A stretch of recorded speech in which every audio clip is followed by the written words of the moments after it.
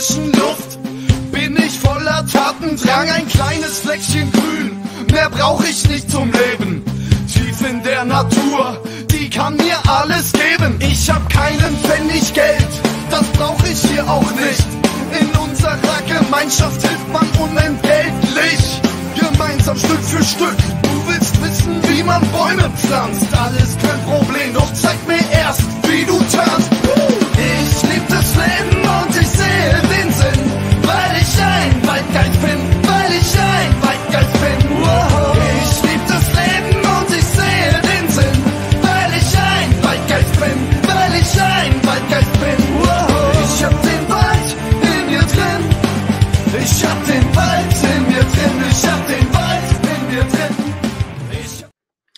Ja, hallo und herzlich willkommen mal wieder auf unserem Kanal. Ich bin der Daniel und wir sind hier auf dem Waldgeister-Kanal heute mit einem weiteren Livestream zum Thema Landwirtschaft, ja, und allem drumherum, was so ein bisschen Permakultur und andere Themen betrifft. Und heute bin ich sehr froh, dass wir einen tollen Gast haben mit dem Michael Gräum. Aber bevor ich den dazu hole, noch wieder mein Dankeschön, das mir immer sehr wichtig ist, denn ähm, ja, all das hier mache ich nur, weil das durch euch möglich gemacht wurde. Und ähm, ja, nach der letzten Sendung bleibt mir auch nichts anderes übrig, als mich wieder bei euch zu bedanken. Und das tue ich echt gerne, denn wir haben wieder eine Spende gekriegt ähm, von Margarita über 100 Euro, die unsere Arbeit so toll findet und, und unterstützt damit. Das finde ich echt mega. Also vielen Dank. 100 Euro ist halt echt krass. Super cool. Und noch von Frank haben wir auch noch 30 Euro gekriegt. Auch super, super toll. Vielen Dank dafür, lieber Frank. Ähm, ein Traum, ja. Und der Simon unterstützt uns jetzt sogar 5 Euro monatlich, dauerhaft ist Vereinsmitglied geworden.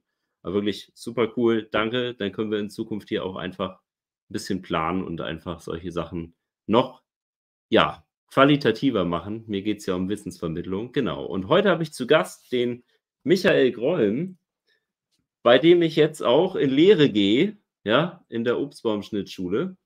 Da mache ich nämlich hoffentlich erfolgreich, lieber Michael, dieses Jahr meinen Baumwart. ich gebe mir Mühe. Genau, und ich habe dich heute als Gast hier, denn ähm, ja, du bist ein absoluter Fachmann, Fachmann habe ich festgestellt. Ich war ja schon in einigen deiner, ja, ich sag mal, äh, Seminare online, wo du dann immer live dabei bist, danach nach einem schönen Vortrag, wo man einfach verdammt viel lernt von dir.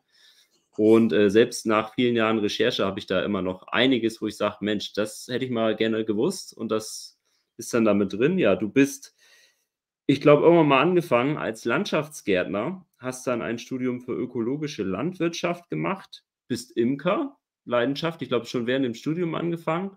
Und das Schloss Tondorf, das ich auch schon Jahre, ein paar Jahre so als Projekt kenne, noch nicht da war, da bist du dann der Hauptimker. Und ähm, ja, du hast einfach, deine ganze Vita zielt ja eigentlich schon darauf hin, dass du Fachmann dafür bist, Diplomarbeit, Feldobstbau. Dann hast du, glaube ich, unendlich viele Schnittkurse besucht, Baumpflanzung und Gründung der Schnittschule dann 2008, steht auch bei dir unten in der Unterschrift, ne? die, die äh, Mail, äh, die, die, die Homepage unbedingt mal reingucken. Da könnt ihr ganz viel Wissen euch mitnehmen oder halt tolle Kurse machen.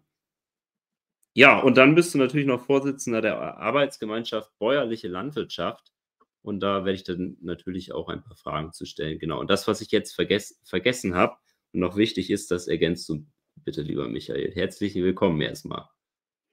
Ja, hallo, ich freue mich auch recht herzlich, hier sein zu dürfen. Ähm, vielleicht noch ein paar Korrekturen. Ähm, Ja, Also, die, ähm, ich selber wohne ja nicht mehr auf dem Schloss, bin da einer von den vier Schlossimkern. Wir machen ja im Kollektiv eine, die Schlossimkerei. Ähm, dann ist es so, dass ich Vorsitzender der Arbeitsgemeinschaft Bäuerlichen Landwirtschaft in Mitteldeutschland bin. Das ist Sachsen, Sachsen-Anhalt und Thüringen. Genau, das vielleicht noch zur Ergänzung. sehr schön.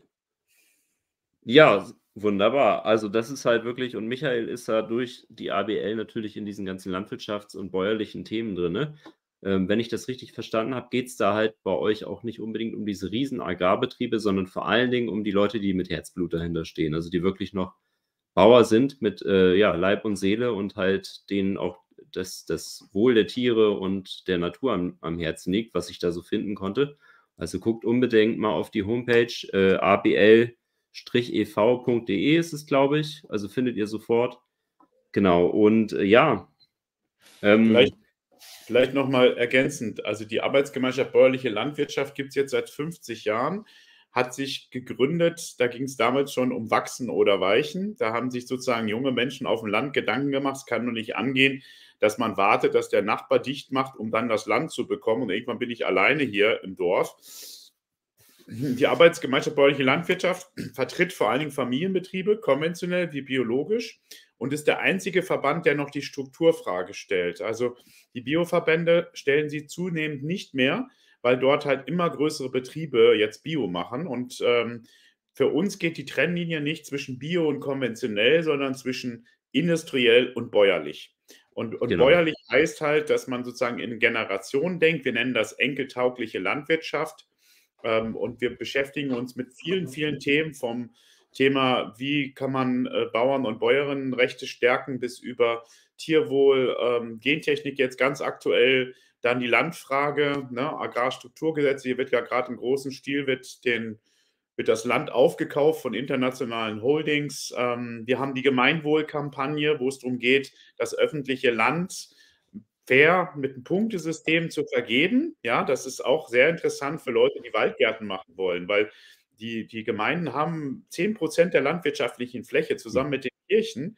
Wenn die dieses Punktesystem anfangen, dann, dann hat man, wenn man einen Waldgarten machen möchte. Da, da kommen wir schon so ein bisschen in die, in die Details rein. Ich wollte noch vorher kurz sagen, also da kommen wir gleich hin. Das ist, du bist Ein halt Satz muss ich noch sagen. Ja, sag noch, bitte.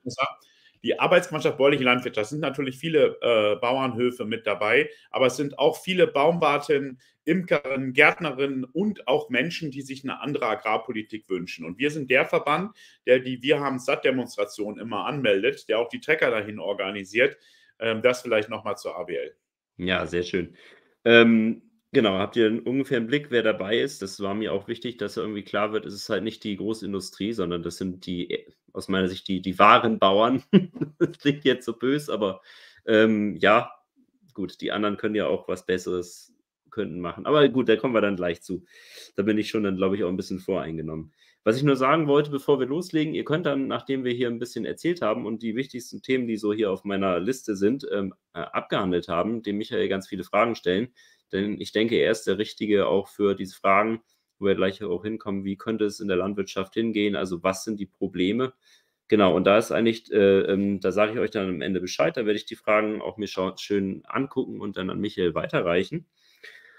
Ja, und was mich jetzt als erstes erstmal interessieren würde bei dir ist, wo war denn bei dir der Punkt, dass du als jemand, der dann in der Landwirtschaft beschäftigt ist oder sich damit beschäftigt hat, schon als junger Mensch vielleicht oder vielleicht sogar schon als Kind, wo war da der Punkt, wo du gesagt hast, ähm, so wie es hier läuft, äh, läuft es irgendwie nicht richtig und ich möchte das anders haben? Und wo war der Punkt, wo du begonnen hast, darüber nachzudenken oder umzudenken, dass du gesagt hast, diese Riesenstrukturen und Ne, da hängt ja so viel dran, dass das irgendwie nicht mehr gepasst hat. Also, wo war da der Punkt, wo du gesagt hast, jetzt passt also mir das nicht schon, mehr? Ich habe schon länger mal darüber nachgedacht, wieso bin ich eigentlich so, wie ich bin und, und wo, wo ist dieser Punkt? Und das ist so ein fließender Übergang. Das fing, glaube ich, an, dass ich angefangen habe, ganz viele Zimmerpflanzen zu haben Irgendwann hat sich das nach draußen ver verlagert. Ich habe sehr viel in der natürlichen Hecke gespielt, habe Bäuche mit der Hand gefangen, habe dann so ein Spleen gekriegt, boah, man müsste doch so einen Teich machen. Habe dann als junger Mensch, äh, also ich weiß noch, mit, mit zwölf habe ich dann meine ganzen Ferien damit verbracht, einen Teich zu buddeln. Mittlerweile sind beim, also bei meinen Eltern im Garten sind, glaube ich, jetzt sechs oder sieben Teiche. Ähm, und dann ging das los, dass ich, äh, dann wollte, wollte ich natürlich was Gutes für die Umwelt tun, habe Altpapier gesammelt und meine Mutter hatte dann, die hatte Angst, dass noch irgendwas zwischen diesen Bergen voll Altpapier, Zeitung, dass da noch wichtiger Brief drin ist. Also habe ich alle Zeitungen durchgeblickt. Da hatte die echt einen Spleen. Und da ist mir dann irgendwann aufgefallen, dass es eine Naturschutzjugend gab. Ja, das ist sozusagen die hm. Jugendorganisation vom NABU, die dann tolle Sachen gemacht haben, wie Bäume gepflanzt und und und. Und da stand da immer eine Telefonnummer, dass man sich melden kann, wenn man mitmachen will. Ja, und dann war ich der Einzige, der sich jemals gemeldet hat. Äh, und das war natürlich endlich mal äh, Gleichgesinnte. Ich habe dann relativ schnell die Jugendgruppe geleitet und ja, und dann haben wir angefangen, wir haben sämtliche Themen bespielt und haben aber auch sehr viel Naturschutz gemacht. Also wir haben sehr, sehr viele Bäume gepflanzt. Also wir haben Erlen im Wald ausgebuddelt und am Bach wieder gepflanzt. Ne? Wenn ich da jetzt an diesen Bach fahre, das ist die Extra, ich komme aus Rinteln, äh, dann, dann sitzt da jetzt ein Steinkauz drin. Ne? Und dann merkst du so, boah, geil, wenn ich den Baum nicht gepflanzt hätte, hätte der jetzt hier nicht sitzen können. Ähm, wir haben ganz, ganz viele Obstbäume gepflanzt und da ging das dann auch los mit dem Interesse fürs Obst, mit 15 ungefähr. Ähm, wir haben aber auch ganz viel äh, Schleierrollenkästen aufgehängt, wir haben äh, Steinkrauzkästen aufgehängt. Und ich habe sozusagen das Glück gehabt, dass ich ein äh, derjenige, der die Naturschutzjugend ursprünglich geleitet hat, irgendwann auch der Vorsitzende war, der war Biologe.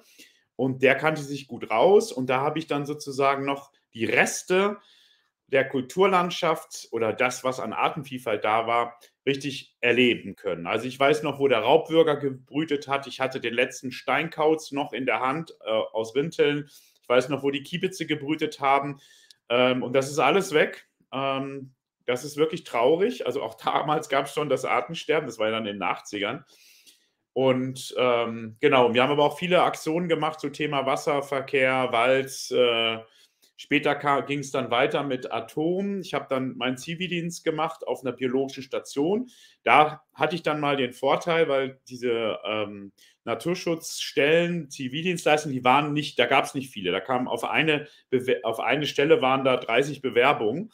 Ich konnte mir das aber aussuchen, weil ich war dann schon Landschaftsgärtner. Ähm, ich hatte Naturschutzerfahrung und war dann in einer Naturschutzstation äh, in Minden. Und da haben wir dann Wasservögel gezählt und Bastelnaturschutz gemacht. Da fing das dann auch an, wo ich gemerkt habe, irgendwas stimmt doch da nicht. Ich hatte vorher in Rinteln ja viele Bäume gepflanzt und da auch festgestellt, die Bauern wollen das eigentlich nicht haben. Die haben die rausgeflügt, umgebrochen und was weiß ich.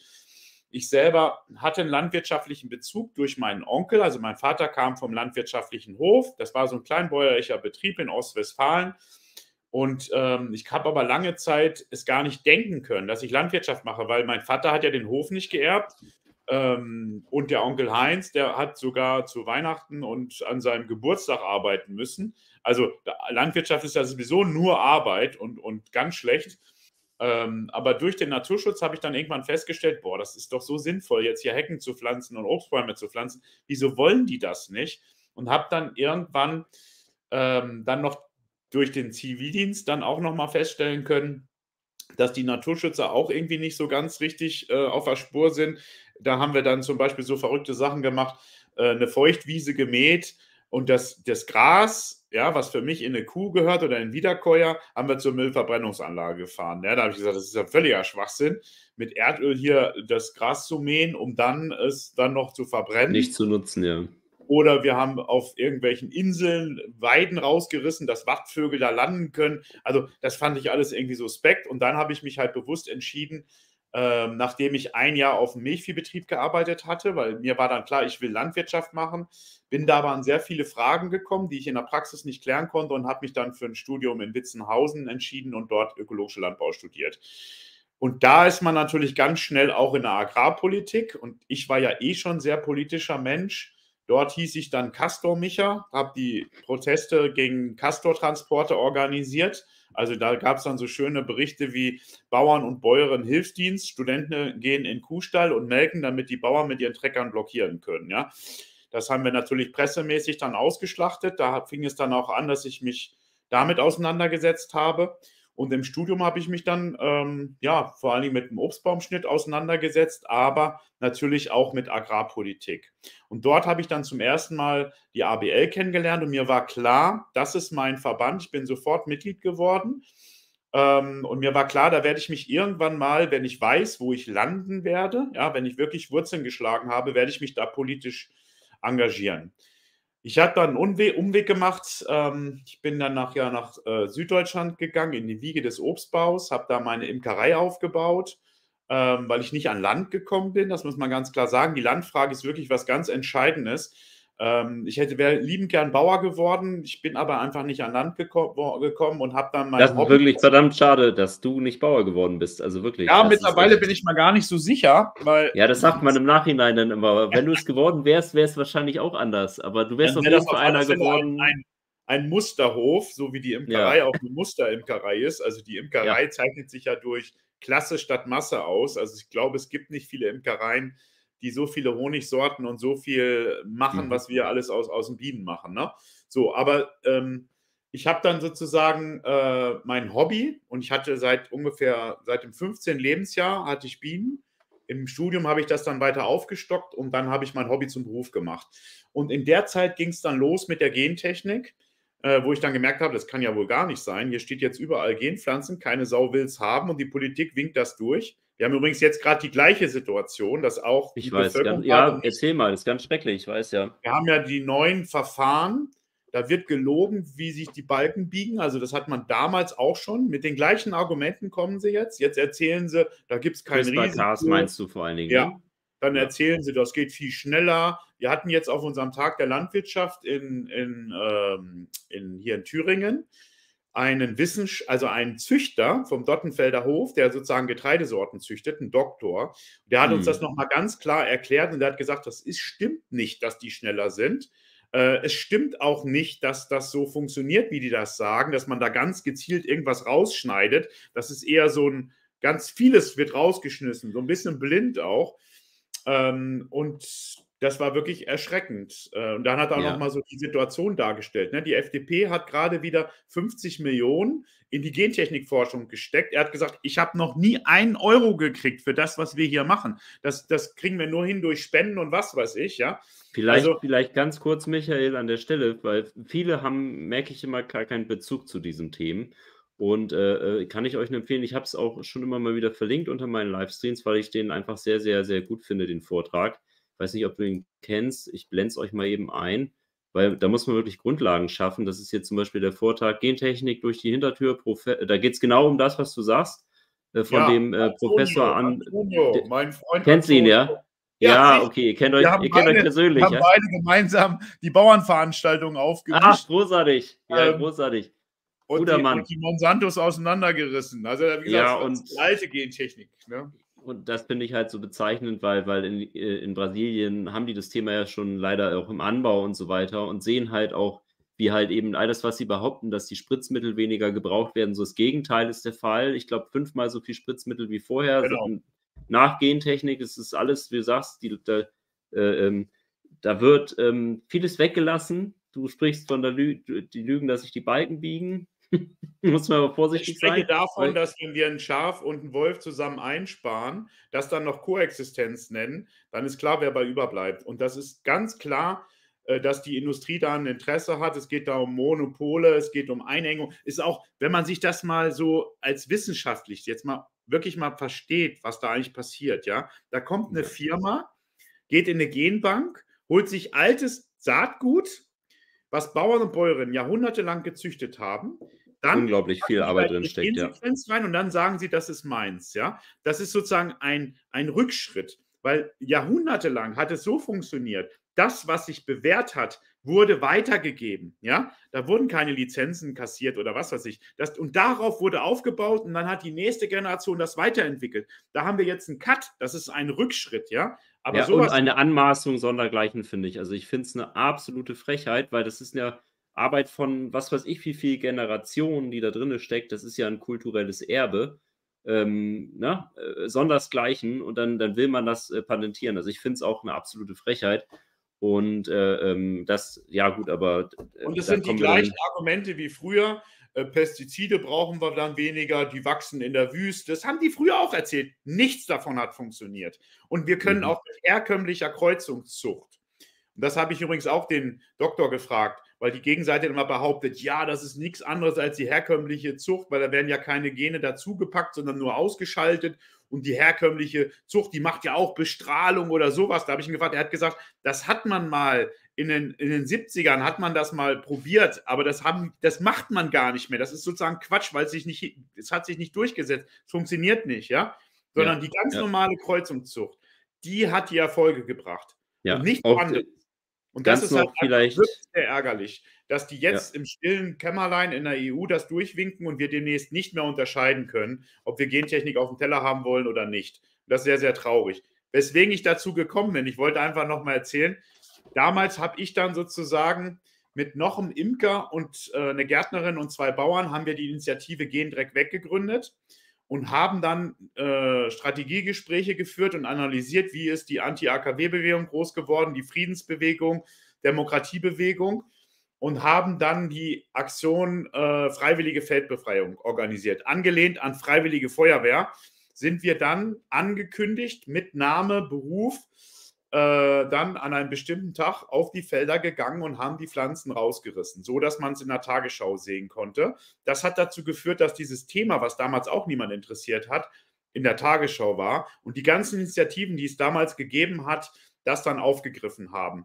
Und so konnten wir das verhindern, dass wir jetzt seit Jahren jetzt keine Gentechnik und auch keine Forschung mehr, also Freisetzungsversuche mehr hier in Deutschland haben.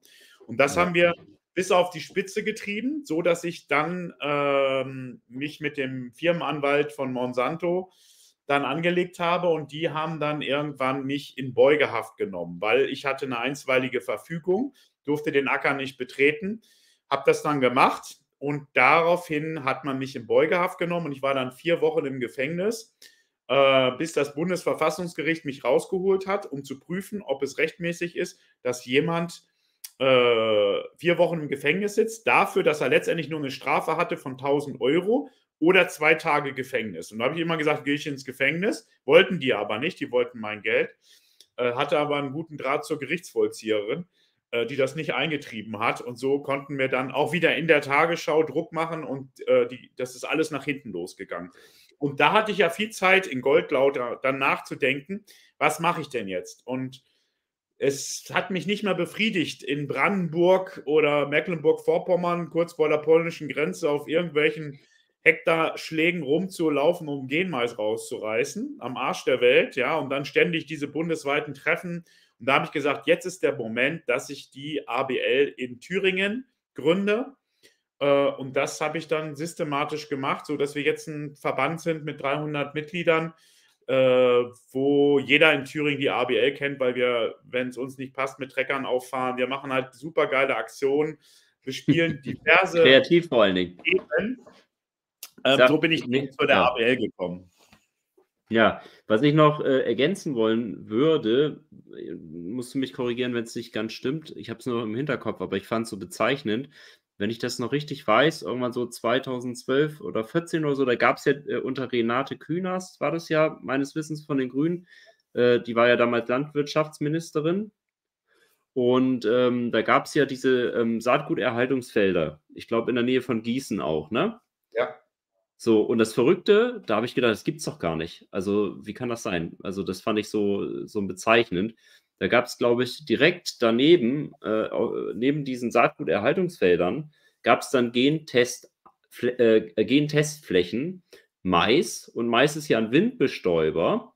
Und ein Windbestäuber, der wurde dann durch einen Zaun geschützt von diesen anderen Flächen, wo auch Mais Saatguterhaltung produziert wurde. Und äh, das, das war für mich, das ist unglaublich. Also, da, es Wahnsinn. gibt noch viel, viel schlimmer. Also es gibt ja Glaube eine Genbank, ja in Gardersleben, ja.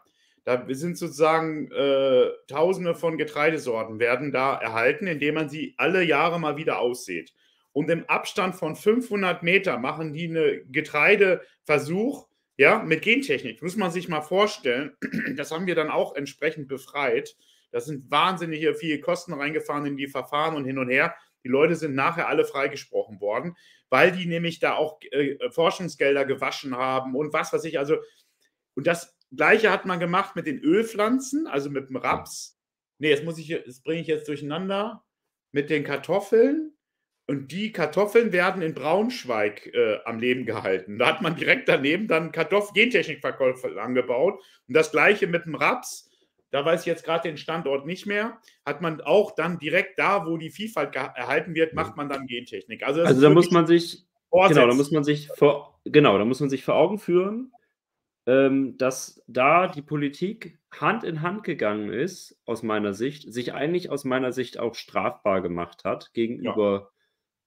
aus meiner Sicht. Äh, ähm, und bis heute, glaube ich, keine Konsequenzen für die Verantwortlichen. Ähm, so, und das ist ja, gut, das ist dieses eine Thema Richtung Gentechnik, Glyphosat wäre auch noch so ein Thema, was ähnlich gruselig ist, äh, wo ich euch auch nur den, den äh, den Nico Da Vinci empfehlen kann. Der hat auch gute äh, Informationen zu. Auf dem äh, Kanal von ihm ist auch der Vortrag von dem äh, brasilianischen Professor, den ich euch eben einge... Hier der, na, noch mein Name, hier nochmal kurz gezeigt. Antonio Andrioli. Antonio Andrioli, also unten Nico Da Vinci ist hier der, der YouTube-Kanal. Da könnt ihr unbedingt mal reingucken. Also ist schon ein bisschen älter, das Video. Ja, kam nicht mehr Neues in letzter Zeit, aber die, die haben es in sich. So, um da mal, dass man eine Idee hat, wo es da hingeht. Und wo ich ja eigentlich mit dir hin wollte, leider noch viel negative Themen jetzt am Anfang. Ähm, wie ist denn aus deiner Sicht so der Status quo mal nicht zu ewig, aber so mal grob beschrieben, den wir jetzt, du weißt, was ich meine, äh, den wir in Deutschland jetzt haben. Äh, ähm, die, der, der Zustand der, Letz-, der jetzigen Landwirtschaft, ich weiß, es gibt auch gute Betriebe, zum Beispiel bei der ABL, aber so insgesamt, was würdest du sagen? Wo, wo sind wir im Moment hin? Und, also wo okay. sind wir und wo sind wir hin unterwegs? Ich versuche mich kurz zu fassen. Trotzdem müssen wir nochmal in die Geschichte zurückgucken. Gerne, ja. Äh, wir hatten ja de, während des Zweiten Weltkrieges oder danach gab es ja Hungerjahre, ja. Das heißt, die Politik hatte natürlich ein großes Interesse, dass jetzt mehr Ertrag äh, passiert, dass sozusagen es rationalisiert wird und hat das auch entsprechend äh, befeuert mit Subventionen. Ähm, das hat also auch seine Berechtigung. Und dann ist aber irgendwann so gewesen, dass zum Beispiel die SPD-Regierung, die haben ganz klar die Parole rausgegeben, wie wir die Land Lebensmittel müssen billiger werden, damit die Leute mehr Geld zur Verfügung haben, um Konsumgüter zu kaufen, damit die Arbeiter sozusagen Arbeitsplätze haben. Ja? Die CDU, ähm, die hatten, das muss man ihnen zugutehalten, die haben das, die gleiche Politik gehabt, nur die haben auch dafür gesorgt, dass die Bauern und Bäuerinnen, die ausscheiden, dass die abgesichert sind. So, und jetzt hat das, äh, ging es dann irgendwann los mit der EG, Europäische Gemeinschaft, wo man das dann zusammen gebündelt hat. Ähm, da gab es dann den, einen Plan, wo mit Amerika abgesprochen worden ist. Äh, Amerika fördert die Eiweißpflanzen, also Soja, und die Europäer fordern, fördern die Energiepflanzen, den, zum Beispiel den Mais, den früher hier gar nicht gab. Und das hat dazu geführt, durch die Agrarpolitik, dass der Mais massiv gefördert worden ist und da ist viel Forschung gemacht worden, dass jetzt in Regionen Mais angebaut werden, die, wo es früher kein Mais gab. Und die Maiskultur kommt ja aus Südamerika und gab es immer mit einer Unterkultur. Da wurden halt Bohnen mit angepflanzt oder Kürbisse, ja. Das heißt, der Boden. Die drei Schwestern, wer das nicht kennt, also ne, die, die Bohne rankt am Mais hoch und der Kürbis wächst unten drunter und dann hat man die Fläche optimal ausgenutzt und hat eigentlich drei Erträge und es ist eigentlich eine schöne Sache. Äh, ist in der Permakultur auch immer äh, gerne genutzt, also die drei Schwestern, genau. Ja, und vor allen Dingen ist der Boden nicht so lange offen. Ne? Und jetzt haben wir nur noch den Mais. Äh, der wird relativ spät eingesät. Das heißt, der Boden liegt blank. Da kommt ein großer Regenschauer oder Wind und dann ist der Boden weg. So, also das mal nur so, so am Rande. So, und das heißt, die Politik, und zwar aller Parteien, und damals gab es ja dann nur die CDU, FDP und SPD, hat dafür gesorgt, dass systematisch Bauern und Bauer, Bäuerinnen oder Bauernhöfe dicht machen mussten. Und das ist nicht vom Himmel gefallen. Das ist halt mit Subventionen gelenkt worden. Ich mache mal ein Beispiel. Ich war ja auf dem Milchviehbetrieb Ende der 80er. Ähm, habe ich ein Jahr da mitgearbeitet. Und das war halt ein, Biobauer, der hatte 15 Kühe, einen Bullen, die sind zusammen auf die Weide gegangen. Es war noch eine Anbindehaltung. Der hatte die Direktvermarktung, was damals schon Novum war, weil er hat die Milch halt direkt in die Stadt gefahren, hatte einen guten Preis, konnte da eigentlich ganz gut mit leben und wollte dann aber aus Tierschutzgründen einen Stall bauen, dass die nicht mehr angebunden sind. Ja, und dann hat er gesagt, naja, mache ich mal ein bisschen mehr, mache ich einen Stall für 25 Kühe. So, und wollte dann, hat dann gefragt, was gibt es an Förderung. Und da haben die ihm aber gesagt, ja, wir fördern gerne, aber erst ab 50 Kühe. Ja, und so kannst du dann äh, systematisch deine Wachstumsbetriebe äh, peppeln und die anderen, äh, die fallen hinten runter. Das heißt, sie kriegen keine Subventionen, so äh, wie die Betriebe, die halt massiv auf Wachstum setzen. Das, das Wachsen ist bis oder heute, weichen. Das ist mhm. bis heute so. Das ist wirklich schlimm.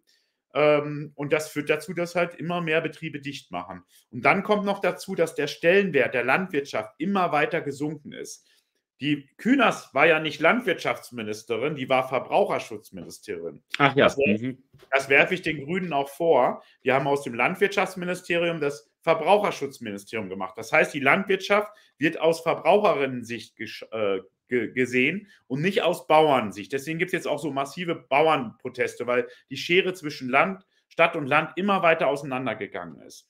Und jetzt muss man sich noch auf der Zunge zergehen lassen, dass ähm, die Bauern und Bäuerinnen nur Preisnehmer sind. Die sind nicht Preisgeber, sondern die Molkerei sagt, Im Moment gibt es, weiß nicht, 40 Cent pro Liter, muss man sich mal vorstellen. 40 Liter für ein Liter Milch, ja.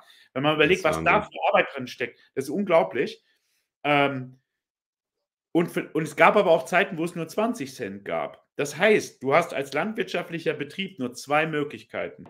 Das eine ist, ähm, du intensivierst, stellst dir doppelt so viele Tiere in den Stall, hat zur Folge, dass du dann irgendwann die Tiere nicht mehr auf die Weide lassen kannst, hat zur Folge, dass für den Tierschutz das natürlich eine Tierwohl eine Katastrophe ist. Die Kuh lebt, lebt nicht so lange, wie wenn sie keinen Weidegang hat.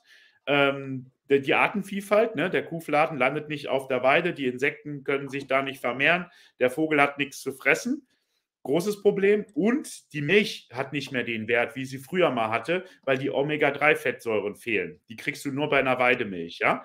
Das ist natürlich eine Katastrophe. Und noch ganz kurz an der Stelle, weil du es gerade sagst, ist super wichtig, weil das viele immer nicht glauben. Da gibt es den äh, ähm, Sepp Braun in Freising. Der hat als Landwirt ja, äh, den wirst du auch kennen, oder? Kennst du auch? Der Sepp, ja, ja. kenne ich auch. Den habe ich mir gedacht. So. Und der hat ja wirklich als konventioneller Landwirt angefangen und hat ja seine Milch immer analysiert. Und der sagt das nämlich auch ganz klar, dass die, die Fettstruktur sich dadurch, dass er jetzt nur noch Heu füttert, der macht ja auch viel Permakultur, Agroforce, also der macht einen tollen Job. Das ist wirklich ein vorbildlicher Landwirt. Der ist bestimmt auch in der ABL. Ähm, ja, da bin ich mir nicht sicher. Da bin bisschen, ich mir nicht okay. sicher. Nicht so wichtig, aber auf jeden Fall, der hat gesagt, diese Fettstruktur, du hast halt viel mehr gesättigte Fettsäuren jetzt in der Heumilch, in der Milch und früher war es genau andersrum. Also wer das nicht glaubt, das ist alles belegbar. Ne? Genau. Jetzt muss ich dir dich nochmal korrigieren. Der macht keinen Job, sondern der macht seine Arbeit. Das ist ein großer Unterschied. Einen Job machst du, um Geld zu verdienen. Eine Arbeit machst du, da identifizierst du dich mit. Und der, der macht, macht, eine gute, Beruf. der macht eine sehr gute Arbeit. Der ist ein mhm. Biolandbetrieb. Äh, was ich ihm vorwerfe, ist eine gewisse Naivität. Weil ich hatte ja okay. vorhin schon gesagt, dass äh, die Anbauverbände mittlerweile sehr große Betriebe in ihren Reihen haben. Und da gibt es zum Beispiel äh, die Firma Dens, kennt ihr sicherlich alle. Ja, das ist sozusagen ja der Aldi unter den Bio-Supermärkten. Ähm, und der, äh, der, der Besitzer von diesem Unternehmen hat sich einen landwirtschaftlichen Betrieb gekauft. Und das ist sozusagen jetzt ähm, Landgrabbing pur, nur im Bio. Und der hat sich mal eben 4000 Hektar Betrieb gekauft, hat jetzt, das sind wir gerade am Recherchieren, einen zweiten Betrieb gekauft und macht da jetzt so eine Musterlandwirtschaft. So. Und ich habe damals im Verband halt dagegen zu Felde gezogen und habe gesagt, das könnt ihr nicht machen. Wenn ihr so große Betriebe, die können einfach durchrationalisieren, das bringt die anderen alle unter Druck. Äh, und das ist einer, der gleichzeitig noch die Vermarktung in der Hand hat. Seid ihr denn wahnsinnig?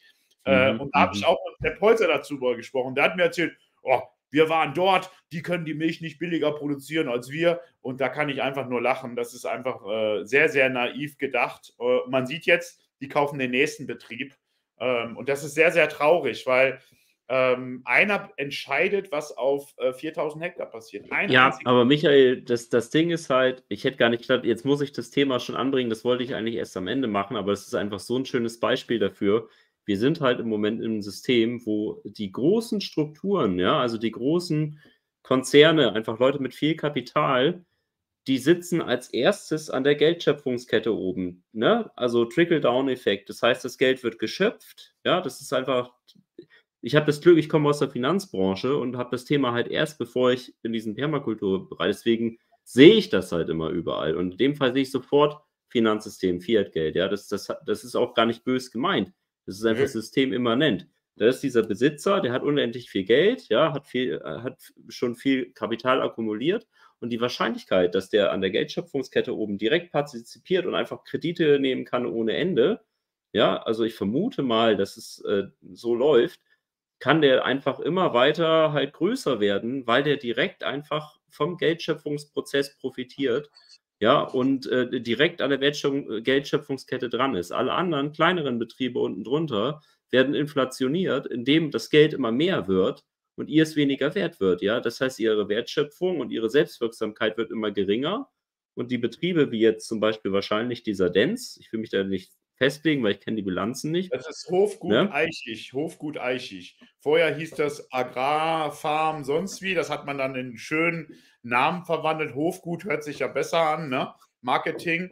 Ja. Ähm, aber was du noch mit bedenken musst, ist, dass wir ja eigentlich Agrarstrukturgesetze haben, die die Landwirtschaft dafür schützt, dass sich das Großkapital äh, Land kaufen kann. Ja, damit sozusagen die Menschen, die es bewirtschaften, äh, denen nicht der Boden unter den Füßen weggezogen ja. wird. Und das wird halt umgangen, indem man nicht Land kauft, sondern ganze Betriebe.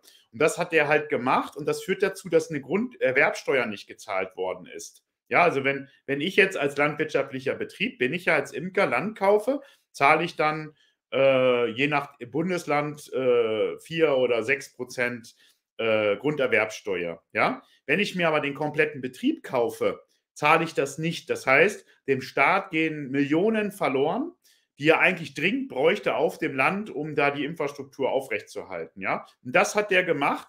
Ähm, und, äh, und bei Bioland hat man ihn dann hat man die kleinen Bauern damit geködert, indem man gesagt hat, der lässt sich dann Gemeinwohl zertifizieren. Das ist eine total schwierige Sache und eine Hürde und das ist ganz, ganz guter, ja.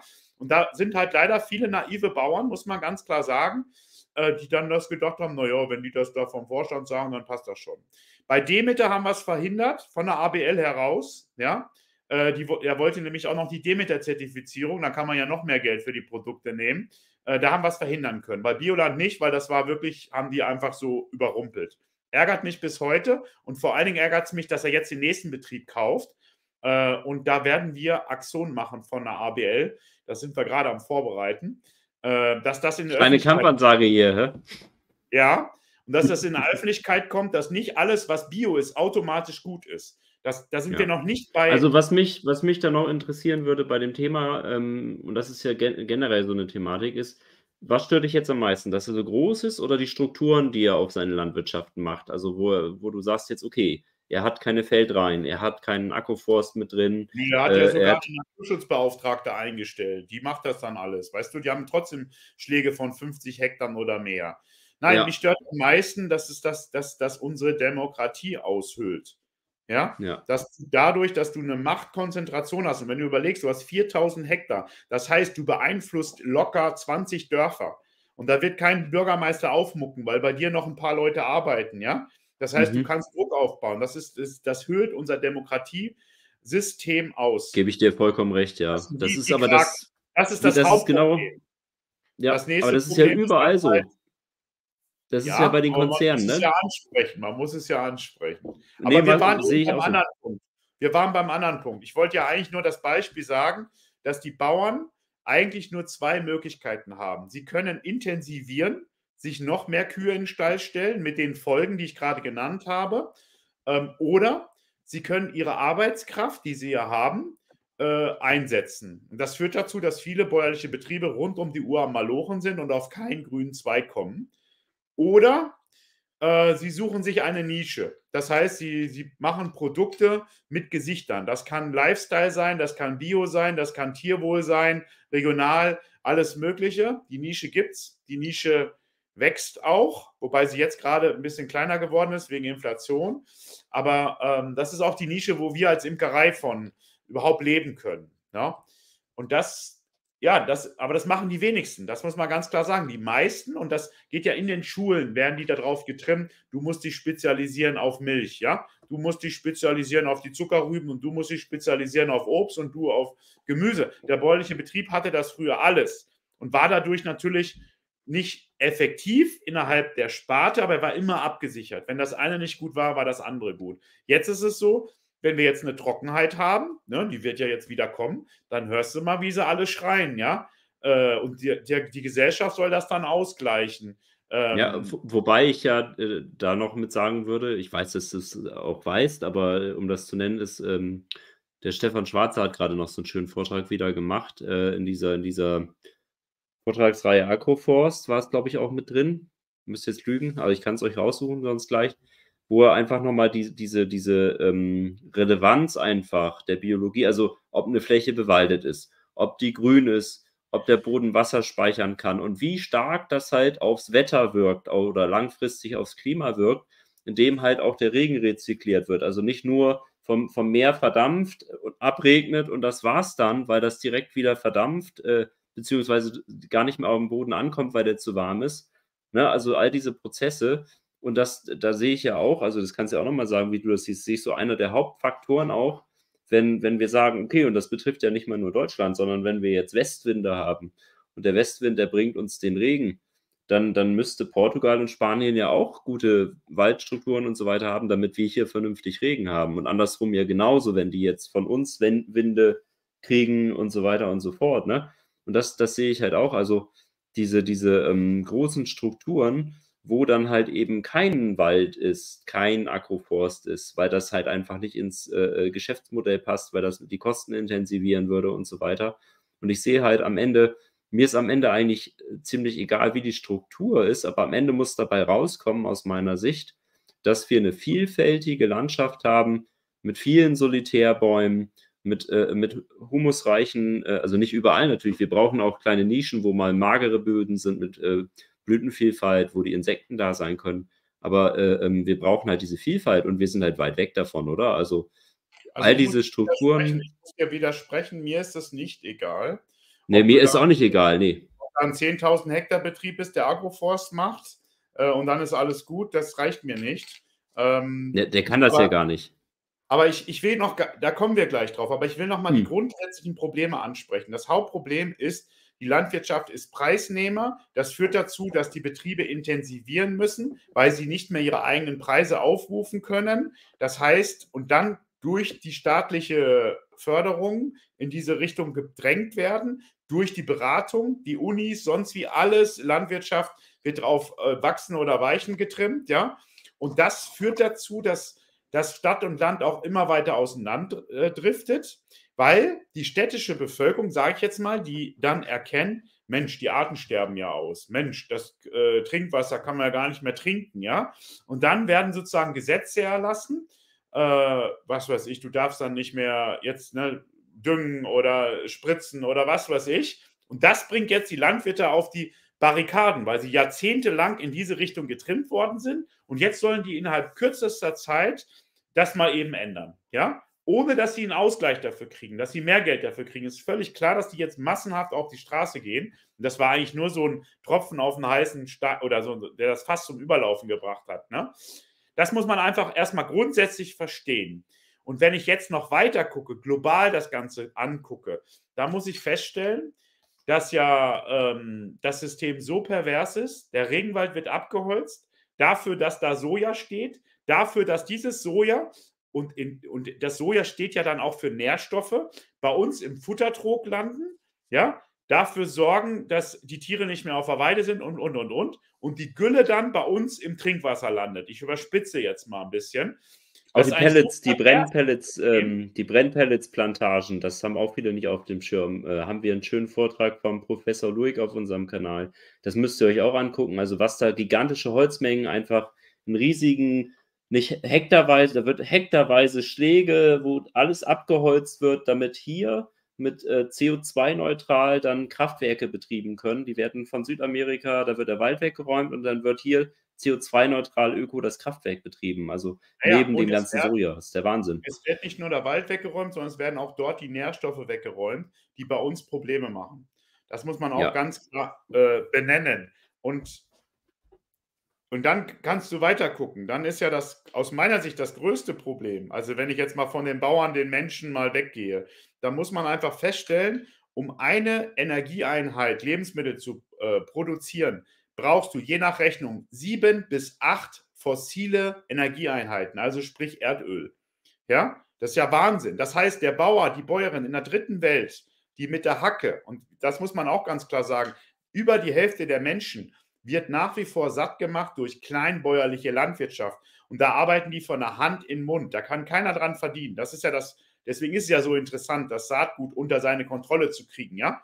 Ähm, und die produzieren noch aus Sonnenenergie Lebensmittel, ja, obwohl die nicht viel auf dem Acker ernten. Bei unseren, wo die wahnsinnig viel ernten, ja, die haben eigentlich gar keinen Energieinput. Und dann kannst du weiter gucken auf die Nährstoffkreisläufe, Phosphor, ist jetzt äh, vielleicht noch 40 Jahre da, dann ist es weg. Äh, Kali, je nach Berechnung 80 bis 120 Jahre, ist es auch weg. Ja, und das ist dann auch weg für den Bioanbau, der auch damit arbeitet.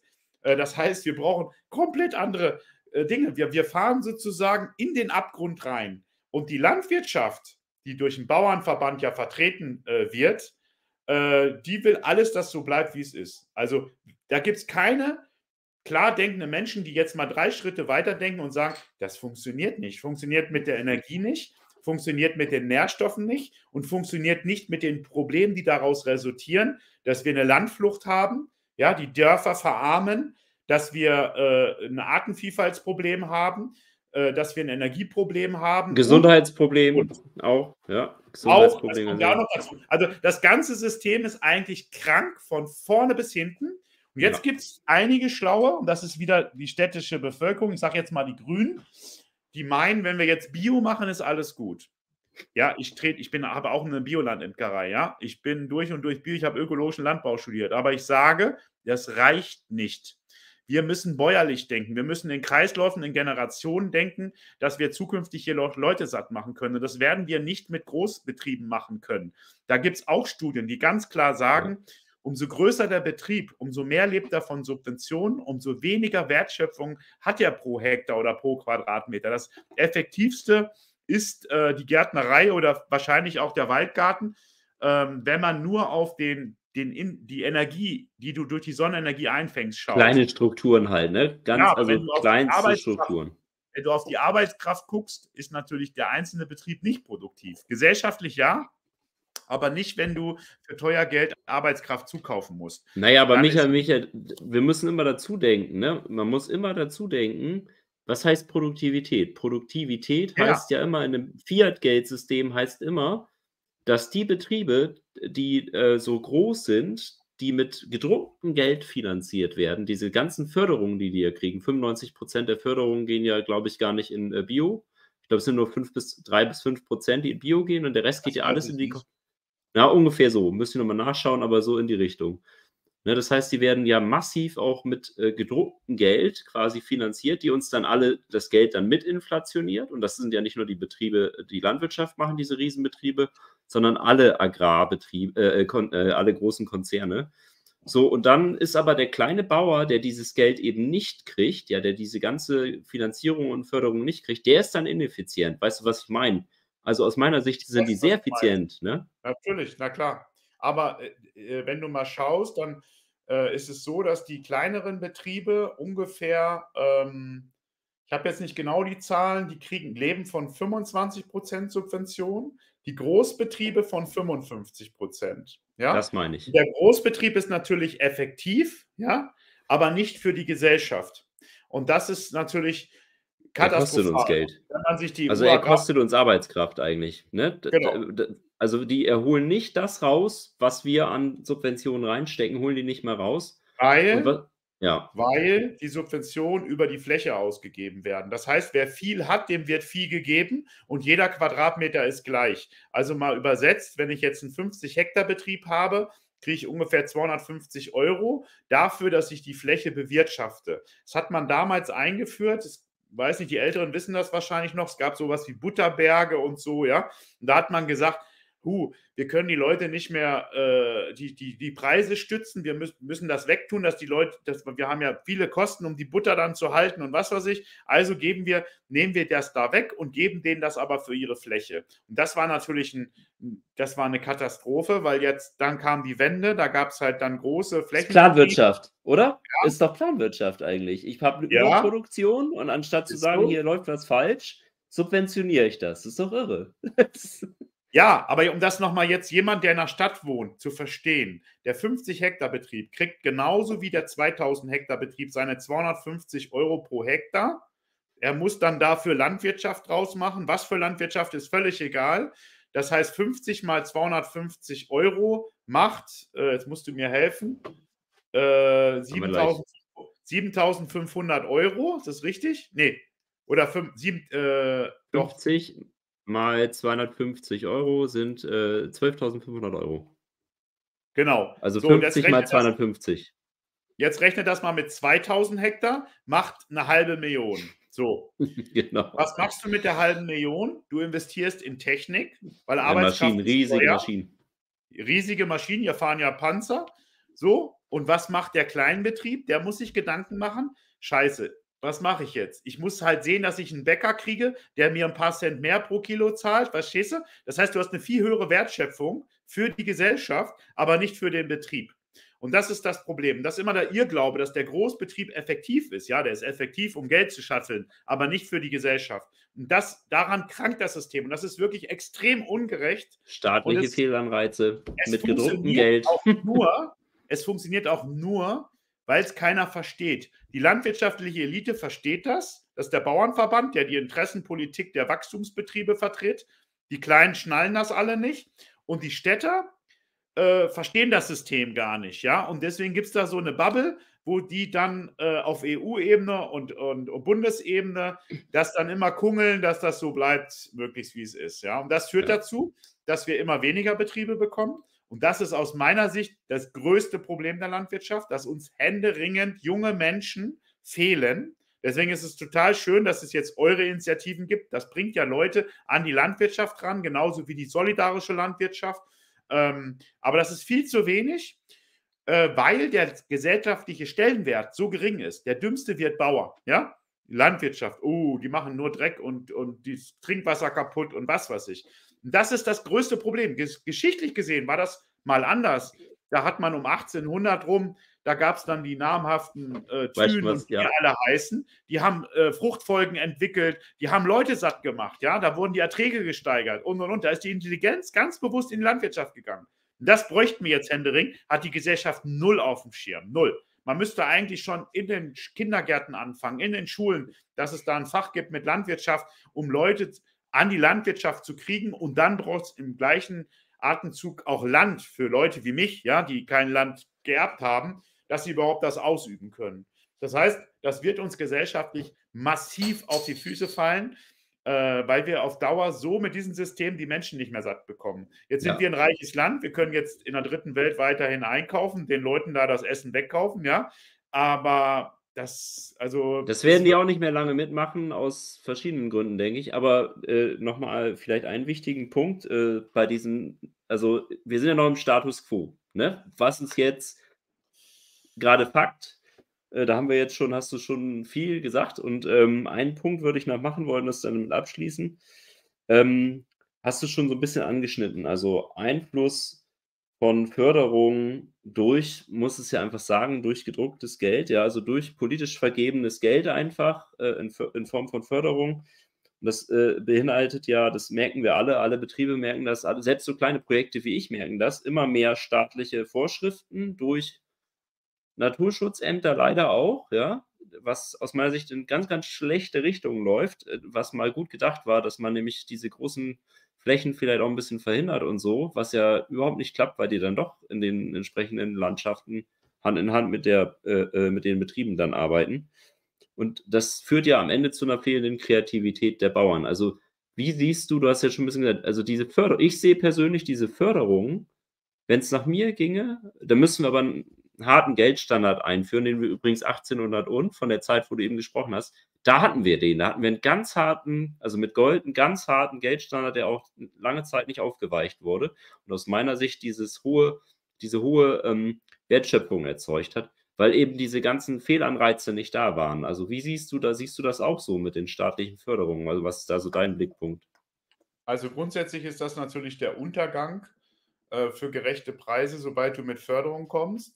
Ähm, ja das ist wirklich schlimm, aber jetzt muss man realistisch wieder sein. Es ist ja nicht nur so, dass die Europäische Union Förderung für ihre Landwirtschaft rausgibt. Die Amerikaner geben das raus, äh, die Russen. Äh, weltweit gibt es immer überall Förderung für Landwirtschaft. Das heißt, wenn du, sobald du für den Weltmarkt produzierst, und da haben wir ja unsere Landwirtschaft drauf hingetrimmt, ja, dass wir das Milchpulver nach Afrika äh, schicken, dass die Hähnchen nach China kommen. Das weiß ja keine Sau, ja. Das ist ja Wahnsinn. Also es ist ja unglaublich, um dann vor Ort wieder die Strukturen kaputt zu machen und sich dann wundern, ja. dass die Leute sich alle auf den Weg machen und dann hier, dann wollen wir sie aber nicht. Also das passt halt alles nicht. Ähm, aber äh, also wir können nicht einfach die Subventionen von heute auf morgen abschaffen. Was wir aber können, ist die Subventionen an Gemeinwohlleistung koppeln. Und das ist eine Urforderung der ABL. Das ist die ABL, die dieses Thema auf die Tagesordnung und schon vor Jahrzehnten gebracht hat, dass es diese 250 Euro nicht pro Hektar gibt, sondern wer hat wie viel Arbeitskräfte pro Hektar, wer macht wie viel Tierwohl, wer macht wie viel Naturschutz, wer ist Existenzgründer, wer macht eine Nahversorgung für die Gemeinden und Städte, der soll dieses Geld bekommen, um damit die Landwirtschaft, also den, den, den Bauern, den Bäuerinnen Angebote zu machen. Guck mal, kein Zwang. Wenn du Subventionen haben willst, gerne, aber dann wollen wir eine Leistung haben und das sind hier die Kriterien. Das wird leider seit Jahrzehnten immer wieder verwässert von der EU und da ganz speziell von Deutschland, weil in Deutschland haben wir ja die Situation, dass in den neuen Bundesländern ja diese ehemaligen LPGs, also da muss man jetzt nochmal wieder in die Geschichte zurückgucken.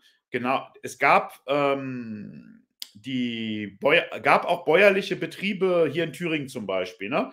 Äh, da, deswegen gab es ja auch die Bauernkriege. Ja? Äh, das waren kleine Bauern, ähm, die auch am Wirtschaftswachstum daran teilhaben wollten und dann ging das aber nicht und so sind die Bauernkriege entstanden.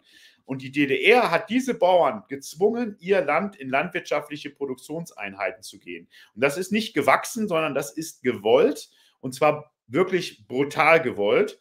Ähm, als Beispiel, ich habe mal mit einem aus dem Dorf in Thüringen gesprochen. Der hat gesagt, wir waren die Letzten, die ihr Land reingegeben haben. Wir haben es hingekriegt ohne Saatgut. Wir hatten unser eigenes Saatgut. Wir haben es hingekriegt ohne Technik. Ähm, wir haben es hingekriegt, äh, die hohen Abträge zu zahlen. Aber was meinem Vater das Genick gebrochen hat, war, die haben uns einen Lautsprecherwagen vor den Hof gestellt, der uns den ganzen Tag beschallt hat. Dies ist ein Volksverräter, der gibt das Land nicht mit äh, in die LPG. Ja, das weiß keiner mehr heutzutage. Es weiß auch keiner mehr, dass die höchste Selbstmordrate in dieser Zeit war. Man schätzt ungefähr 30.000 Bauern und Bäuerinnen hat das, das, äh, haben, die, haben sich das Leben genommen. Keiner weiß, dass äh, die Kollektivierung in, in Russland ungefähr eine bis zwei Millionen, schätzt man, Menschen verhungern lassen hat. Ja, keiner weiß, dass in China allein 30 bis 40 Millionen Menschen verhungert sind, wo man den Leuten das Land weggegeben hat und sie gezwungen hat, kollektiv das Land zu bewirtschaften, in großen Einheiten. Ähm, und das hat dazu geführt, dass nach der Wende das äh, westdeutsche Agrarkapital, was keine Fläche hatte, zusammen mit dem ostdeutschen Agrarkartell gemeinsame Sache gemacht hat. Das heißt, die ganzen Verbandsfunktionäre haben sich hier eingekauft in die Großbetriebe, haben Geld mitgebracht und wussten ja, wie man äh, intensiviert und haben dann diese Betriebe intensiviert. Und jetzt ist das Problem, dass ähm, die landwirtschaftlichen Agrarminister in den neuen Bundesländern äh, jetzt ja natürlich für ihre Betriebe Agrarpolitik machen und die sprechen sich ab äh, wobei jetzt muss man sagen, in, in Sachsen ist ja jetzt ein Grüner dran, der Wolfgang Günther, den ich sehr schätze. Der sicherlich nicht, aber die davor, äh, dass die sich absprechen, dass sie äh, weiterhin diese Flächenprämie bekommen. Ja? Und die verwässern das immer. Das heißt, Deutschland hat einen ganz großen Einfluss, dass in, in Rumänien eine Flächenprämie gezahlt wird und dort auch die Strukturen zerstört werden. Das ist sehr, sehr schlimm. Also ich würde da vielleicht ähm, noch zwei Sachen ergänzen wollen, äh, die ich da noch ganz stark sehe, auch äh, als Ursache vielleicht für die Sachen, die du beschreibst. Also einmal ähm, bräuchten wir aus meiner Sicht eine unabhängige Justiz in Deutschland, denn wären solche Sachen wie Glyphosat wahrscheinlich schon längst verboten. Die haben wir leider überhaupt nicht, weil die Staatsanwälte alle Parteibuch haben und natürlich auch äh, entsprechend nicht, also, ne? Das ist so ein großes Thema in Deutschland, was ich schade finde. Und ich bin am Ende wieder bei dem Punkt, weil du sagst, hier wird finanziert und nach, da wird Geld nach Rumänien und so weiter und diese ganzen Flächen, äh, äh, also das ganze Geld, was da einfach vergeben wird. Ähm, wir bräuchten ein hartes Geld, was die Politik zwingt, äh, nicht über, also jetzt politischen Druck, dass wir denen das vorschreiben, sondern was die Politik zwingt, solche Ausgaben gar nicht machen zu können. Ähm, und da, da sind wir dann am Ende aus meiner Sicht dabei, dass wir bräuchten definitiv ein hartes Geld, weil solange sie mit der EZB einfach Geld drucken können, können sie auch solche kranken Förderanreize und solche, ich sag mal, ja, das sind ja auch am Ende Machtstrukturen aufrechterhalten. Kommen ja, wir sonst nicht raus, ne? Dazu muss man sich engagieren. Und das äh, kann ich nur sagen, man muss sich wie zum Das Beispiel gehört vollkommen dazu, ja. ABL äh, äh, äh, engagieren oder man muss in die Parteien gehen oder neue Parteien gründen So funktioniert leider Demokratie und Demokratie ist nicht fehlerfrei und Demokratie lebt vom Mitmachen. Und ich bin sehr froh, dass ich in so einem Land wie Deutschland wohne und nicht in Brasilien, wo zurzeit, äh, wo der Antonio Andreoli, der ja auch Deutsch spricht, weil er deutsche, also österreichische Vorfahren hat, mir dann erzählt hat, er muss jetzt mal untertauchen, ja. Äh, weil da wirst du halt umgebracht, wenn du eine andere Meinung hast. Das habe ich jetzt hier in Deutschland so noch nicht erlebt. Da läuft sicherlich auch nicht alles gut. Aber ja. es läuft nur besser, wenn man sich engagiert. Und das, was ich jetzt genau. da draußen wahrnehme, äh, wo es heißt, die Ampel muss weg oder die da oben äh, oder sonst wie, das, ich kann das nicht mehr hören. Äh, ich kann nur sagen, engagiert euch, bin, bringt euch ein in die Gesellschaft und macht es besser. Und es ist sehr, sehr schwer, in diesen schwierigen Zeiten äh, Entscheidungen zu treffen. Ja, nur mal so ein Beispiel. Wenn ich jetzt äh, das mit dem Gas, ja, das haben die Grünen ja schon seit Jahrzehnten angeprangert, dass man sich nicht an Russland verkaufen sollte, dass man alternative Energien machen wollte. Das haben alle anderen Parteien verhindert, einschließlich der SPD. Ja, hm. so jetzt äh, sind wir innerhalb kürzester Zeit vom Gas weg aus Russland. Ja, und der Habeck fährt zu, nach Katar, macht einen Bückling, ja, vor einem sicherlich keiner Demokratie. Ja. Michael, aber das, das ist so ein Thema, da können wir auch so viel jetzt zu sagen. Ja, ja, ich weiß schon, was du meinst. Er macht einen Bückling dafür, dass wir keinen kalten Arsch bekommen. Und dann muss ich mir von Leuten anhören, ja, das sind die Grünen, ja, so. Also ich will einfach nur sagen, es ist sehr, sehr schwer, Kompromisse zu machen. Und du musst Kompromisse machen in der Demokratie. Und da bleiben immer Leute auf der Strecke. Und es geht immer sehr langsam. Es geht zu langsam. Also ähm, wir haben zum Beispiel äh, die Kirche von der ABL dazu bewogen, dass sie ihr Land anders vergeben. Auch wieder mit Gemeinwohlkriterien. Das hat sieben Jahre gedauert. Sieben Jahre sind wir mit Treckern vorgefahren, wenn die Synode sich getroffen haben, mit ausgestopften Tieren, mit äh, Spielzeugtreckern. Äh, mit, mit äh, richtigen landwirtschaftlichen Tieren von, von der Kuh bis zum Hase, um die Kirche dazu zu kriegen, dass sie ihre Punktvergabe verändert. Ja, das muss man einfach mitdenken. Das geht nicht von heute auf morgen und es geht schon gar nicht, wenn man dem Kapital oder den, die sich da ihre Fälle ins Trockene bringen wollen, das alleine überlässt. Und das muss ich halt einfach feststellen, dass innerhalb der Szene es sehr, sehr wenig Leute gibt, die sagen, jawohl, ich gehe jetzt in eine Partei und versuche, diese Interessen dort durchzudrücken.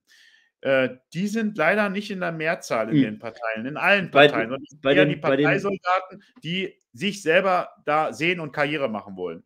Ich, ich würde da noch, ähm, also das Ding ist halt, ich gebe dir komplett recht bei dem, was du sagst. Ähm, würde aber noch ergänzen wollen, das blende ich euch nochmal kurz ein. Das haben wir äh, vor äh, kürzerem gemacht mit dem Roman Rea im Gespräch. Da geht es auch darum, also ums Geldsystem. Ähm, wie wir vielleicht äh, nämlich aus diesen ganzen Mechanismen aussteigen, weil am Ende ist es ja immer eine Systemfrage. Also man muss ja fragen, wie kommen die an die Macht? Also diese Konglomerate, die dann halt solche Negativentwicklungen haben und das ist halt einfach am Ende des Geldsystems. Ich gebe dir recht, die Prozesse sind langwierig und langsam und die erfordern halt, dass man nicht gleichgültig ist. Ja? Nicht, also äh, der, der Bonhoeffer hat das so schön geschrieben in seinen Briefen, äh, kann man mal lesen. Gibt es, glaube ich, auch online äh, relativ viel von. Äh, das war ein Pfarrer, der äh, im Dritten Reich quasi eingesperrt war, ist dann leider auch umgekommen. Und er hat immer geschrieben, das Böse ist eigentlich nicht, äh, das sind nicht irgendwelche bösen Menschen, die böse Taten tun, sondern es ist diese Gleichgültigkeit gegenüber ja. dem Bösen. Ja? ja? Also diese Gleichgültigkeit zu sagen, ich will, ich, ich lehne mich zurück, ich mache mein Ding, so Alltag, ich will links und rechts nicht hören, nichts sehen und nicht am gesellschaftlichen, demokratischen, also an einfach zu partizipieren und freiheitlich, also für mich ist es immer so die, dieses freiheitliche Gedankengut, dass jeder auch irgendwie seine Freiheit und dass, dass man nicht, ja, also Faschismus oder ist ja immer das Bündeln, also dieses, diese Bündelung von Macht. Das ist ja eigentlich das, was äh, die Italiener mit Mussolini und so weiter, äh, die Fascia, ne, das Bündel, so. Und das, das sehe ich leider äh, überall, diese krasse Bündelung von Macht durch, ja, ich sage es einfach nochmal, durch dieses gedruckte Geld auch sehr, sehr stark möglich wird. Also setzt euch damit auseinander ich will jetzt gar nicht weiter ausweiten aus, äh, äh dem Thema, dass ihr euch bewusst macht, wie diese Prozesse laufen und wie wir da gesellschaftlich rauskommen können, indem ihr euch auch engagiert, wie auch immer. Aber macht was, da gebe ich dir vollkommen recht. Ähm, und jetzt würde ich noch äh, gerne, jetzt haben wir wirklich ich glaube, jetzt habt ihr ein ganz gutes Bild, was da los ist. Äh, Michael ist ja auch wirklich, ich würde sagen, eher ein Kämpfer fast schon. Die letzten Jahrzehnte, was du da durchgezogen hast, auch mit dem, dass du da im Gefängnis warst. Also ja, aber nochmal positiv. Wir kommen ja jetzt langsam zu den positiven genau. Sachen. Jetzt wollen wir da hinkommen, dass du nochmal beschreibst und wir vielleicht zusammen, äh, ähm, wie müsste jetzt eigentlich eine Landschaft, also erstmal vielleicht äh, und dann vielleicht, wie, wie wir das hinkriegen, eine Landschaft aussehen, okay. eine Landwirtschaft aussehen, die die Ziele erfüllt, die du vielleicht auch hast. Also Böden, die ähm, Infiltration ermöglichen, die gesundes Bodenleben haben, die ein Wetter, die das Wetter, also diesen Wasserkreislauf auch bestärken, Diversität, äh, gesunde Ernährung, die also wirklich gesunde Nahrungsmittel produzieren und natürlich auch am Ende auch ein, ein soziales Miteinander. Also da würde ich mich jetzt interessieren, wie siehst glaube, du die Landschaft? Du meinst, du meinst, nicht Nahrungsmittel, sondern du meinst Lebensmittel. Das genau, mein Lieber, so sehe ich das. Großer Unterschied, ja. ja. Keine ähm, Füllstoffe. Ich habe mich ja. gerade gefragt, ob alle wirklich verstanden haben, wie das mit dem Wasserkreislauf funktioniert, weil wir werden ja sicherlich noch zu den Gehölzen. Ich suche den, such den Vortrag vom. vom ja, ja, äh, aber es sind ja jetzt einige raus. dabei, die den nicht kennen. Also ich will es nochmal mit, meinen Worten, mit meinen Worten sagen. Ja? Das Wasser wird verdunstet äh, in den Meeren, äh, zieht dann mit den Wolken aufs Land, regnet ab. Und wenn wir dann größere Waldflächen haben oder Gehölze, dann wird es wieder verdunstet zieht weiter und kommt weiter ins Landesinnere und regnet wieder ab. Haben wir keine Gehölze, regnet es ab und kommt nicht mehr hoch und ist einfach weg. Ja, äh, das ist ja das, was du meinst. Ah ja, wie wünsche ich mir das? Oder ja, ich bin halt immer auch wieder dazu, Realist. Ne? Ne? Den Vortrag ja. hier unbedingt dazu gucken zu dem, was Michael sagt. Also der, der, das ist, der ist lang, aber das ist einer der interessantesten Vorträge, die ich seit langem gehört habe von Stefan, äh, Stefan Schwarzer. Schönen Gruß an der Stelle. Also da könnt ihr ganz tief einsteigen und das ist so wissenswert, weil dann denkt ihr auch ganz anders über diese ganze Klimadiskussion. Das ist echt spannend, ja. Ja, was bräuchten wir? Also wir brauchen auf alle Fälle hm, Systeme, die sich selbst erhalten. Ja, also das heißt, das geht los mit den Nährstoffen, geht äh, weiter mit äh, Pestiziden. Ja, du bist ja immer abhängig von der Industrie. Mit dem Saatgut ist eine ganz wichtige Frage. Also aus meiner Sicht können mir nur so viele Menschen auf dieser Erde überleben, weil es dieses Saatgut gibt. Ja, also ich, bei, beim Apfel kenne ich mich ja aus, 2.000 bis 3.000 Apfelsorten, nur in Deutschland, ja. Beim Getreide sind das Zehntausende von Sorten, die sozusagen angepasst sind an, an das Klima, also in der jeweiligen Region, wo sie entstanden sind, an, an, ähm, an Krankheiten, an Schädlinge, an soziale Bedürfnisse, ist auch spannend, ne? was, was man da alles draus machen kann und und und. Und das Saatgut, das ermöglicht uns in dieser Vielzahl hier zu leben. Jetzt, zu leben. Jetzt ist das Problem, dass die Weltgroßkonzerne, die Cash Crops, die wollen natürlich äh, ihren Mais in allen Ländern verkaufen, den sie patentiert haben. Ne? So, und äh, das ist natürlich sehr anfällig, das System. Das ist klar, dass da Schädlinge und Krankheiten nachziehen und dass, ähm, ja, dann irgendwann dann vielleicht irgendein Maiszünstler wiederkommt oder was weiß ich und der Mais halt da nicht mehr wächst. Das heißt, das ist ein ganz entscheidender Punkt, ist das Saatgut, dass man das sozusagen aufrechterhält. Und das hältst du nur aufrecht, indem du es anbaust und isst und äh, verarbeitest und das Wissen um dieses Saatgut der nächsten Generation weitergibst. Also als Beispiel, wenn man jetzt äh, zum Beispiel so eine Schweizer Wasserbirne, das sind riesengroße Bäume, so wie Eichen, die haben Birnen, wenn du da reinbeißt, die aspergieren so, ja, die zieht ja alles zusammen, denkst du, wer ist denn sowas, ja? Wenn du daraus einen Saft machst, das ist ein Saft, der schmeckt so gut, da kannst du Silvester mit anstoßen. Da kommt aus meiner Sicht ein Sekt, kommt da nicht mit. Und das Interessante ist, wenn du da eine ganze Flasche von trinkst, also ich zum Beispiel, normalerweise ist Birnensaft für mich wie Abführmittel, ne? Da kann ich eine ganze Flasche von trinken, passiert nichts. Wenn ich das Wissen nicht habe, dann, ich weiß nicht, wie viele Bäume da gefällt werden, nur weil man nicht weiß, was man damit machen kann. Ja, das meine ich mit äh, soziale Bedürfnisse. Ähm, also das Saatgut, ganz entscheidend. Das darf wir nicht außer Hand geben. Das muss auch immer wieder weiterentwickelt werden. Das kann nicht stehen bleiben. Ja? Das, man muss weiter aussehen, man muss es weitergeben der nächsten Generation. Ähm, die Nährstoffe, das ist ein großes Problem. Ähm, ist natürlich wahnsinnig. Wir gehen jetzt, für uns ist völlig klar, wir gehen aufs Wasserklo, äh, machen da unsere Sachen rein und die Nährstoffe gehen dann in die Kläranlage äh, werden dann mit viel Geld wieder aus dem Wasser geholt und werden dann in Form von Klärschlamm irgendwo deponiert äh, oder mit Antibiotikum oder sonst wie auf die Felder gepackt. Also das ist ja schon mal voll krank. Äh, da braucht es dringend andere Systeme. Ähm, genau, dann haben wir das große Problem Artenvielfalt. Das kostet uns noch richtig viel. Also das ist den Leuten ja noch gar nicht klar, was das bedeutet, wenn eine Art ausstirbt. Ähm, wenn man da jetzt mal so schaut, was sind die Gründe des Artensterbens, gibt es eigentlich drei Faktoren. Oder bleibt man nur bei den Insekten, ne, was ja die Grundlage für viele andere Tiere sind. Wir haben erstens aus meiner Sicht verschwinden die Grenzbiotope aus, den, aus der Kulturlandschaft, also die Säume, die Hecken, äh, die Ränder von den Feldern. Das heißt, umso größer das Feld wird, um weniger Ränder gibt es, weil die meiste Artenvielfalt hast du immer am Rand. Ähm, äh, das ist ein großes Problem. Ähm, das zeigen auch Studien, die haben die Bio-Großflächenlandwirtschaft in Sachsen-Anhalt mit der kleinbäuerlichen, konventionellen Landwirtschaft aus Hessen verglichen. Und siehe da, wo war mehr Artenvielfalt? Bei der kleinbäuerlichen, konventionellen Landwirtschaft, wo gespritzt wird, war mehr Artenvielfalt, weil es mehr Säume gab.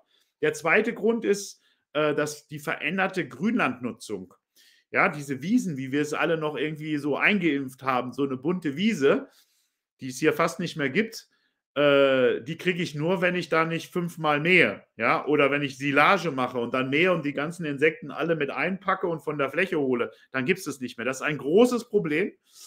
Ähm, und das nächste sind natürlich die Spritzmittel, die äh, immer, immer giftiger werden äh, und auch äh, den Insekten natürlich zusetzen. Das ist die Artenvielfalt. Das müssten wir dringend ändern. Auch Mo Mobilfunk ist äh, was, wo man noch gar nicht so richtig weiß, äh, ob der nicht auch einen Effekt darauf hat. Ähm, ist aber weiß ich nicht, tatsächlich. Weiß ich nicht, weiß ich nicht, weiß nicht, wer ich jetzt. Schwieriges Thema, ja. Äh, ist wirklich ein schwieriges Thema. Ich werde ja als Imker immer wieder kommt mir dann, ja, der Mobilfunk, deswegen ist das das Bienensterben oder sonst wie. Das teile ich nicht, weil es gibt Studien in Regionen, wo es keinen Mobilfunk gibt, da Insekten sterben. Weltweit aber so ein Randthema. Aber ich wollte es halt mal gesagt haben, dass es ja, mal eigentlich sich angucken müsste eigentlich. Wird auch nicht richtig gemacht. Ja, müsste man. Aber ich glaube, das ist nicht das Hauptding. Das glaube ich garantiert. Ja, glaube ich auch nicht. Nee. Ist das, was ich benannt habe. Also Artenvielfalt müssten wir in den Griff kriegen. Ähm, hat dann wieder die Folge, äh, dass wir nicht auf große Einheiten setzen können. Wenn wir nicht auf große Einheiten setzen können, brauchen wir einfach mehr Menschen in der Landwirtschaft. Äh, ob wir das mit Robotern und sonst wie lösen können, wage ich zu bezweifeln. Äh, wer, ich glaube, vielen ist gar nicht bewusst, was uns verloren gegangen ist. Ich habe ja vorhin beschrieben, ich habe noch mitgekriegt, dass die Steinkreuze in Rinteln gewohnt haben. Ne, so. Aber auch zu der Zeit gab es schon nicht mehr so viele Arten. Ja, wenn ich jetzt im Naturkundemuseum in Erfurt bin, dann äh, gibt es da halt so die Arten und so. Und da steht dann zum Beispiel eine Zwergtrappe. Schon mal gehört? Na, noch nie. Ne, noch nie gehört, ne? Ist 72 mhm. ausgestorben, ja? In mhm, Thüringen. Mhm. Großtrappen okay. haben wir ja noch in Deutschland, aber die gab es auch mal ein paar mehr. So, und so geht das bei ganz, ganz vielen Arten, die einfach aussterben. Und wenn du mal nach Rumänien fährst, das ist ja mein Lieblingsland, und da in entlegene Regionen gehst, das verschwindet ja jetzt auch in Rumänien, aber noch finden wir es, da ist eine Vielfalt von Insekten, das kann man sich nicht vorstellen. Oder auch die Blumenwiesen, wenn du die da siehst, ja, und dann weißt du, was heißt eigentlich Artenvielfalt. Das habe ich in Rumänien erst kennengelernt. Das habe ich in Deutschland so nie erlebt. Äh, so, also das heißt, wir brauchen viele, viele Menschen in der Landwirtschaft. Äh, und das ist halt das größte Problem, glaube ich, äh, das hinzubekommen. Ähm, also ganz kurz, wenn ihr euch ein Bild dazu machen wollt, ich habe einen schönen Podcast mit dem Karl Schadax gemacht, der ist drüben in Rumänien und macht quasi permakulturelle Weidetierhaltung, könnte man sagen. Und da seht ihr, das ist also wunderschön. Ja, und ähm, das sind eigentlich Magerflächen, auf denen er ist. Äh, da müsst ihr euch die Fettflächen vorstellen. Also es ist einfach gigantisch. Ja, ja und ja. wir müssen natürlich auch äh, auf den Boden gucken. Wir haben, das ist auch ein gesellschaftliches Thema, was die Gesellschaft nicht auf dem Schirm hat. Und da geht es zum Beispiel um die Bodenerosion. Das ist das eine Hektar 10 Tonnen Boden, der fliegt mal weg oder wird weggeschwemmt. Das ist Wahnsinn. Also was Bauern und Bäuerinnen jahrhundertelang aus Gesteinsschichten durch Kulturfolgen sonst wie herausbekommen haben, ja, und was die Natur natürlich auch jahrtausendlang produziert hat, fliegt mal eben in einer Generation weg. Das ist unglaublich. Dann haben wir das Thema Boden, Bezug auf, wir haben zu große, zu schwere Maschinen, wo wir eine massive Boden, ähm, eine Bodenzerstörung Ver haben, ja. also Bodenverdichtung. Dann gekoppelt mit, äh, mit, ähm, mit Kunstdünger, dass sozusagen die Bodenzusammensetzungen sich verändern der Humus abgebaut wird massiv. Das ist auch ein Riesenproblem, dass wir einfach keinen Humus haben. Allein ja, also du, man muss dazu sagen, das wissen auch viele, glaube ich, nicht, dass durch diese Kunstdünger, die nicht nur, also äh, äh, die ganz, ganz viele Schwermetalle noch mit reinbringen, die extrem das Bodenleben einfach auch stören. Das ist halt auch sehr gut bekannt eigentlich mittlerweile. Also die, die kann man einfach sagen, die töten zum gewissen Grad das Bodenleben äh, durch die fehlende Struktur. Also es ist eh keine Struktur, da ist ja alles ausgeräumt und dann kommt noch zu guter Letzt kommt noch dieser Kunstdünger, also gelöste Salze, und da kann das Bodenleben, das eh schon kaum noch vorhanden ist, eigentlich gar nicht mit umgehen. Ja, und dann kommt noch dazu, dass äh, Lachgas produziert wird, äh, was ein extrem, das, was wesentlich äh, klimaschädlicher ist als CO2. Das kommt ja auch noch dazu. Also der Boden ist wirklich, das ist was, das ist was ganz Besonderes, was ganz Tolles. Äh, den genau. sollten wir heilig sprechen, aber das wird leider gerade nicht passieren. Ich habe so. vielleicht eine Idee, dass wir noch, noch mehr vielleicht es anschaulicher machen. Ich würde dir mal das hier reinschmeißen und vielleicht magst du ja vielleicht daraus ein paar positive Beispiele nehmen, wie man das in der Landwirtschaft machen könnte und darfst auch gerne kritisieren. Das ist nämlich hier unser Gelände. Ähm, da sieht man rechts unseren noch sehr jungen syntropischen Agroforst ähm, indem wir ganz, ganz bunt äh, vor allen Dingen Obst anbauen und natürlich auch unten in der Knollenschicht alles Mögliche, zum Beispiel Meerrettich. Und links unsere Gemüseproduktion, wo jetzt noch einige äh, Überständer, ähm, ja, äh, äh, Mispeln und so weiter noch dazugekommen sind, wo halt bei uns der Boden immer bedeckt ist. Also das ist natürlich jetzt nur, das sind nur 3000 Quadratmeter. Das reicht aber jetzt schon, um äh, die Vereinsmitglieder zu versorgen äh, äh, über fast übers, also ich sag mal von ja, in der Vegetationsperiode. Im Winter ist es noch nicht so weit, dafür haben wir nicht genügend Lagerfläche und Kühlhaus. Aber ähm, ja, und auch noch ein bisschen Verkauf zu machen. So.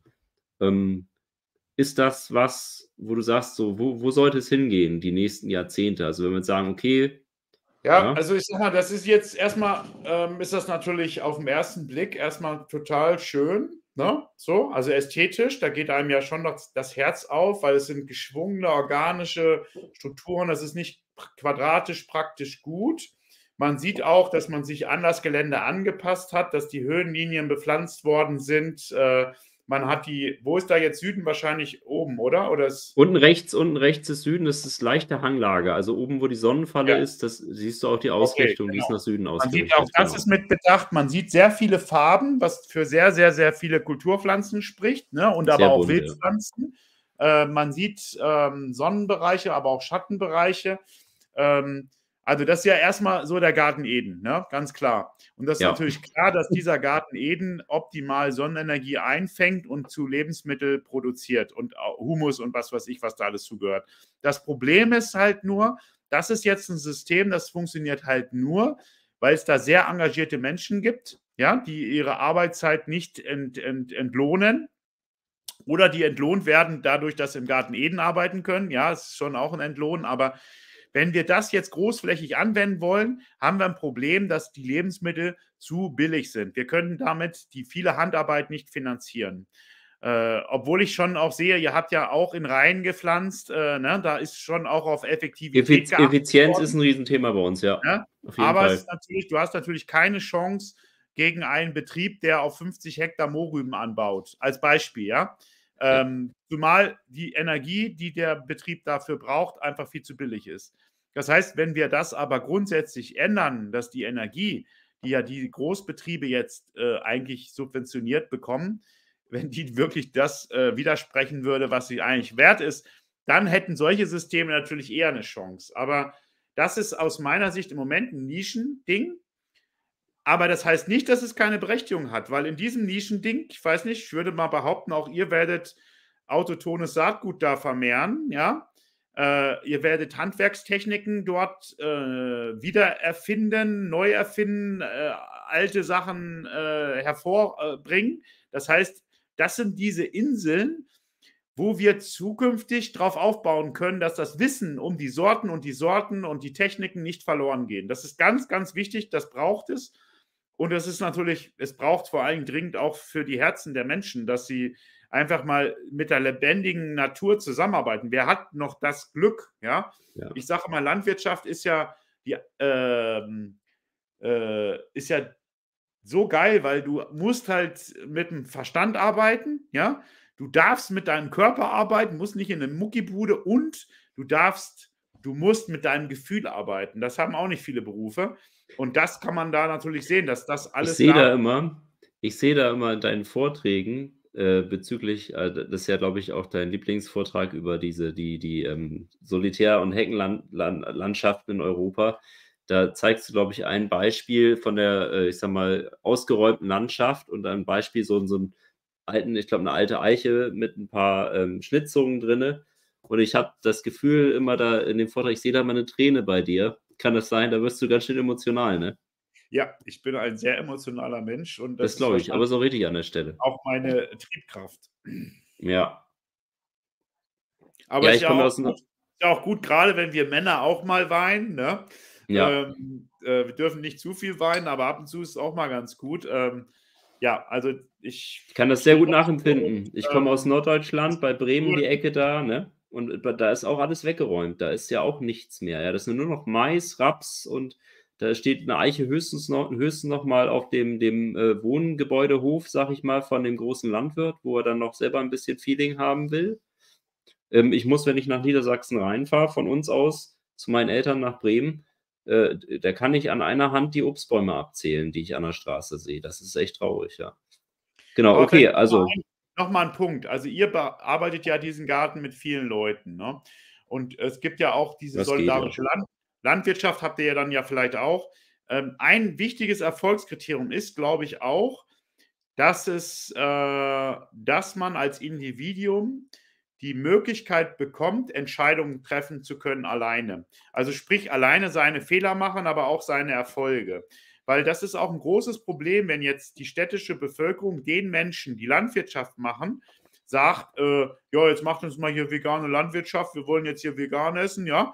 Äh, aber ich sage, äh, ich will keine vegane Landwirtschaft, ich möchte die Tiere damit einbauen, die machen mich glücklich und die Milch schmeckt mir und ich will hier auch äh, das nicht umbrechen, damit mir der Boden hier nicht wegfliegt und was weiß ich, ja.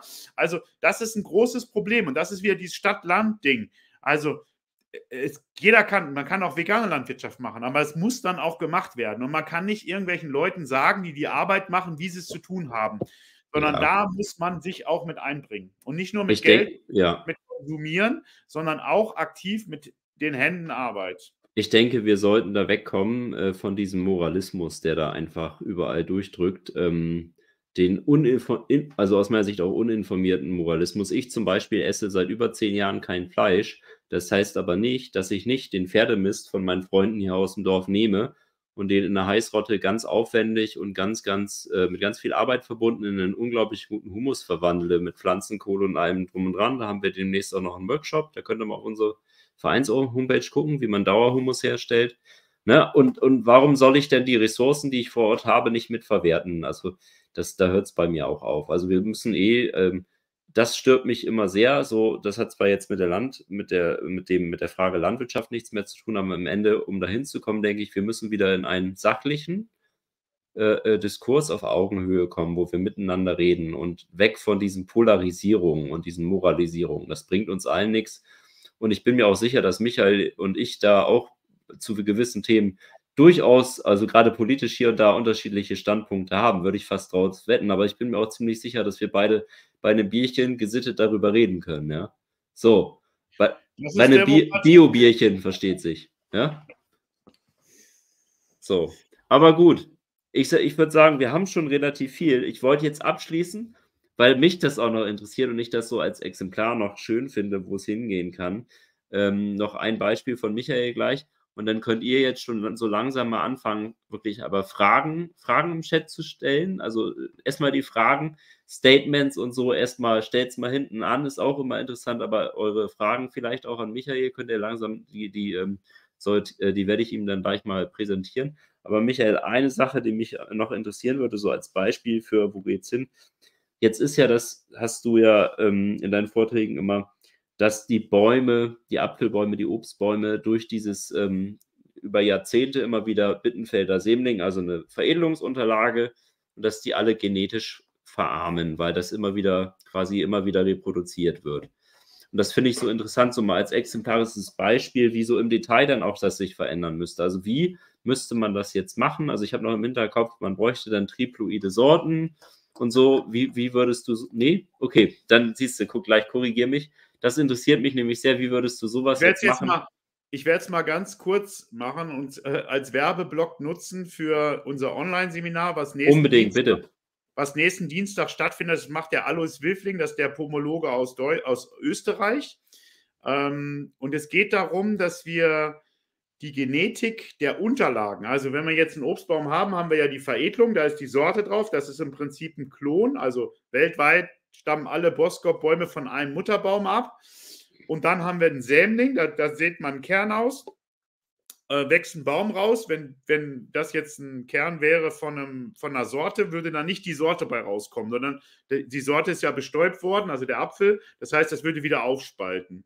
Das heißt, man nutzt sich die Technik des Veredelns dadurch, dass ich die genauen Eigenschaften habe von einem Apfel, den ich irgendwo mal als Sämling gefunden habe. So, und jetzt hat man jahrhundertelang äh, hat man immer den Trester ausgesät und hat das genommen, was am besten gewachsen ist. Und da hat man drauf veredelt. Und in den 70er Jahren hat man angefangen, von einer bestimmten Sorte zu, auszusehen, dem Bittenfelder Sämling. Das ist eine diploide Apfelsorte. Es gibt ja. Triploide und Diploide. Triploide, da sind die äh, Kerne häufig taub, die keimen gar nicht. Äh, und diese Sorte wenn man die aussieht, dann, dann sind die Pflanzen alle relativ gleich hoch, die dann kommen. Ja, das ist natürlich gut, wenn ich industrialisieren will. Wenn ich jetzt aber einen ganz hohen habe und einen kleinen, dann, dann habe ich sehr viel Ausschuss, ja.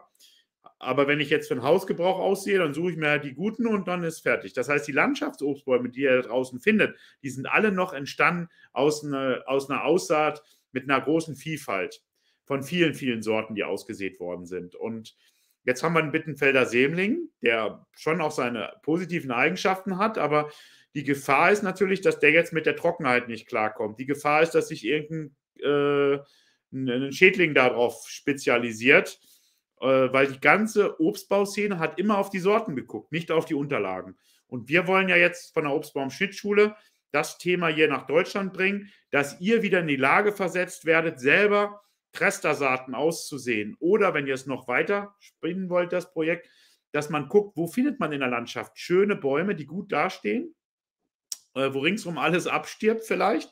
Und dann muss man aber nicht die Sorte nehmen, die da drauf ist, sondern man muss an die Unterlage kommen. Und da sind wir jetzt auch gerade dabei, ein Projekt an Land zu ziehen, dass wir dann äh, per Labor aus der Wurzel dann wieder Bäume entstehen lassen, die aufpflanzen, bei uns im Thüringer Becken, wo alles ausgeräumt ist, dass dann diese Klimabäume, die gut dastehen, miteinander kreuzen und das Saatgut das dann aussehen und dann wieder in die Baumschulen bringen. Und darum geht es äh, bei diesem Online-Seminar. Und darauf die Woche, also jetzt am Wochenende ist ja der Heckenlegekurs, auch eine tolle Technik. Äh, aber darauf das Wochenende gibt es zweimal einen Tag Säm, klimafitte Sämlinge ziehen, weil das nicht so einfach. Wenn man jetzt auf seine Wiese, das jetzt, das jetzt ging es erstmal um die Genetik, jetzt geht es um sogenannte Direktsaat. Wenn ich jetzt äh, einen trockenen Standort habe, und das hat man früher gemacht, wo die Weinberge äh, durch die Reblaus alle zunichte gemacht worden sind, hat man auf diesen Standorten Obstbäume ausgesät. Die bilden dann eine Pfahlwurzel aus. In der Baumschule wird die ja gekappt. Wenn sie gesät, genau. Hm. Da machst du aus einem aus Tiefwurzler einen Flachwurzler. Ja, das ist also kein Klimabaum, aber der geht richtig tief runter. Und dann geht es halt darum in dem Seminar, wie schütze ich dann diese Kerne auf der Stelle, wo ich dann später den Baum haben will, vor der Schnecke, vor der Maus, vor dem Reh, vor dem Hasen, vor der Kuh.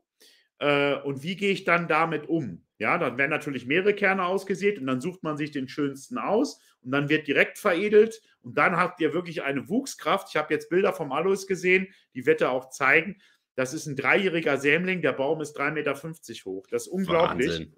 Äh, das schaffst du niemals, äh, wenn du äh, aus der Baumschule da so einen Baum hast. Ne?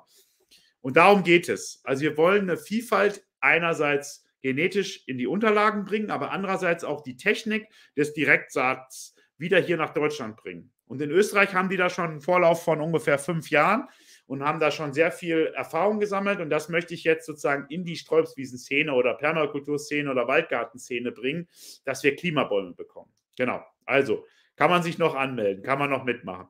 Aber wie gesagt, Online-Seminare bei uns laufen ja auf Spendenbasis. Äh, das ist ganz einfach. Man, man bucht dann zu 0 Euro. Wenn man hm. eins gefallen hat, spendet man was und man kriegt danach auch eine Rechnung dafür dann. Genau.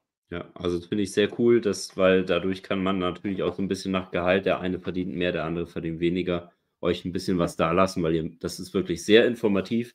Seid da unbedingt mal dabei. Sehr, sehr zu empfehlen.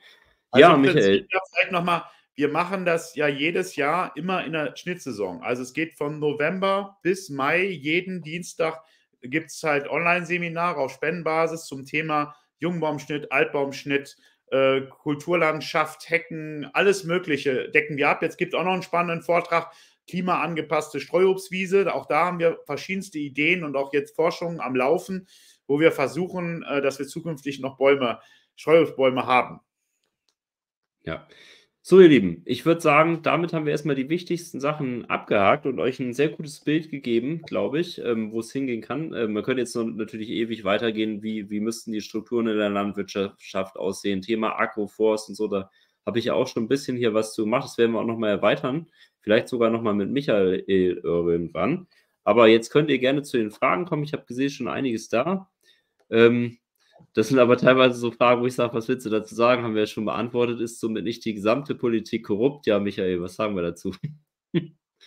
es ist äh, eine einfache und eine schwierige Frage, finde ich auch. Ne? So. Äh, welche Frage meinst du? Da, war, da hatte, der David hat gefragt, ich glaube, das war zu dem, wo wir vorhin über äh, ähm, die Förderung und so weiter gesprochen haben, ist somit nicht die gesamte Politik korrupt? Ich glaube, da ging es dann auch um die Saatguterhaltungsfelder und so weiter. Mir gefällt das Gesamte, gefällt mir nicht. Gefällt mir genau, mir auch nicht. Weil, ähm, geh mal in irgendeine Partei und ich würde behaupten, jetzt mal abgesehen von der AfD, findest du in allen Parteien Leute, die wirklich was bewegen wollen. Die, die sind jetzt nicht meiner Meinung, ne? aber es, es gibt die. Und wenn man jetzt natürlich Richtung Umwelt und Richtung äh, Landwirtschaft guckst, da muss man schon sagen, finden wir schon auch äh, gute Agrarpolitiker bei den Grünen. Das Problem ist nur, die sind in der Minderheit. Ne? Ähm, also der, auf dem Landwirtschaftsminister in Sachsen lasse ich nichts kommen. Der ist wirklich, wenn ihr den kennenlernen würdet, der will was verändern. Nur der ist mit der CDU in der Regierung. Das ist nicht so einfach, ja. Oder die Miriam Staute in Niedersachsen auch eine wunderbare Frau, die was verändern will, ja. Die könnte jetzt auch hier mithören oder die hat auch zu Hause Obstbäume. So. Äh, aber wir haben auch so Landwirtschaftsminister gehabt, die, wie die Frau Dalbert von den Grünen aus Sachsen-Anhalt. Äh, die hat sich erstmal einen Staatssekretär vom Bauernverband gehört, geholt und erstmal erzählt, ja, es geht nicht zwischen klein und groß, Herr Grollm. Hauptsache Bio, ja. So, also da muss man auf die Menschen gucken. Und ähm, das würde ich nicht so stehen lassen, weil das ist eigentlich der Untergang von unserer Gesellschaft, wenn wir das so stehen lassen können. Das heißt ja nee, eigentlich. Finde ich auch schwierig, ja. Brauchen wir dann den guten König, ja, oder die gute Königin und die soll es schon machen. Und wer von uns ist der, der gute König? Bist du es? Bin ich's? Also ich bin es bestimmt nicht. Also ähm, ich kann meinen Beitrag zu leisten, ja, aber nicht in allen Bereichen. Da bin ich froh, dass es da noch andere Leute gibt. Und ich bin froh, dass es auch unterschiedliche Meinungen gibt das bringt mich als Mensch weiter und das macht meinen Horizont auf. Ähm, und da müssen wir immer wieder Kompromisse finden. Und da Kompromiss heißt halt immer, man muss was abgeben. Und man kriegt aber auch was. Ja, genau. Sehe ich auch so. Genau, ähm, dann war hier die Frage, die Waldgeister arbeiten doch äh, ehrenamtlich oder Ernte ohne Lohnkosten? Äh, ja, ich kriege 60 Euro Ehrenamtspauschale monatlich. ich, ich hoffe, damit ist die Frage einigermaßen beantwortet. Und wir setzen natürlich darauf, dass wir ähm, mit unseren Mitgliedern zusammen das äh, in unserem Garten machen, weil wir das gerne machen, weil wir da einen Sinn drin sehen. Und äh, ja, und wir können uns auch so lavieren, aber das, das führt heute zu weit. Das sind alles noch so unausgesprochene Sachen, die dann mit den Leuten auch wachsen und gedeihen, die dann dabei sind. Genau.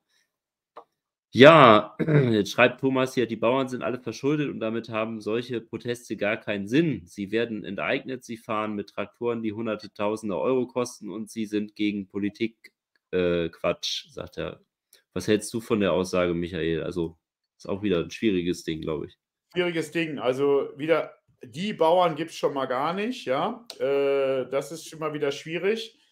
Es gibt auch Bauern, die gut dastehen, die nicht verschuldet sind. Ähm, die gibt es in allen Klassen, also bei Großbetrieben genauso wie bei Kleinstbetrieben, ja, die eine gute Direktvermarktung haben, die Leute haben, wie es ihr vielleicht seid, die nicht im Aldi jetzt Bioprodukte kaufen oder sonst einen Ramsch, äh, sondern die halt äh, direkt bei Bauern und Bäuerinnen kaufen. Das gibt's. Also ähm, aber die betrifft das jetzt auch nicht mit dem Agrardiesel, ja, weil die haben, die sind nicht so intensiv auf äh, Ackerkulturen aus, die eigentlich relativ unproduktiv sind, machen wir uns nichts vor, ja. Ähm, das ist sehr, sehr vielschichtig. Und ich würde auch nicht sagen, dass die Proteste nichts bringen. Wenn ihr mal genau mitgekriegt habt, was die jetzt gebracht haben, leider nicht in unserem Interesse, es sollten ja 4% stillgelegt werden in Form von Brachen, Hecken, also Säumen, das, was, was ich vorhin gesprochen habe, damit das Artensterben aufhört. Ne? So, 4%. Die Ökologen sagen, wir brauchen mindestens 20%. So, das haben die jetzt einkassiert. Brauchen sie nicht mehr. Können sie jetzt auch auf Teufel komm herauf weiter produzieren. Ja? Dann gab es eine Pestizidstrategie auf EU-Ebene, wo bis 2030 50 Prozent der äh, Spritzmittel reduziert werden soll. Haben sie jetzt eben mal auch weggekippt. Ja? Also kann man nicht sagen, dass diese Proteste nichts gebracht haben. Und die Proteste sind auch noch nicht zu Ende.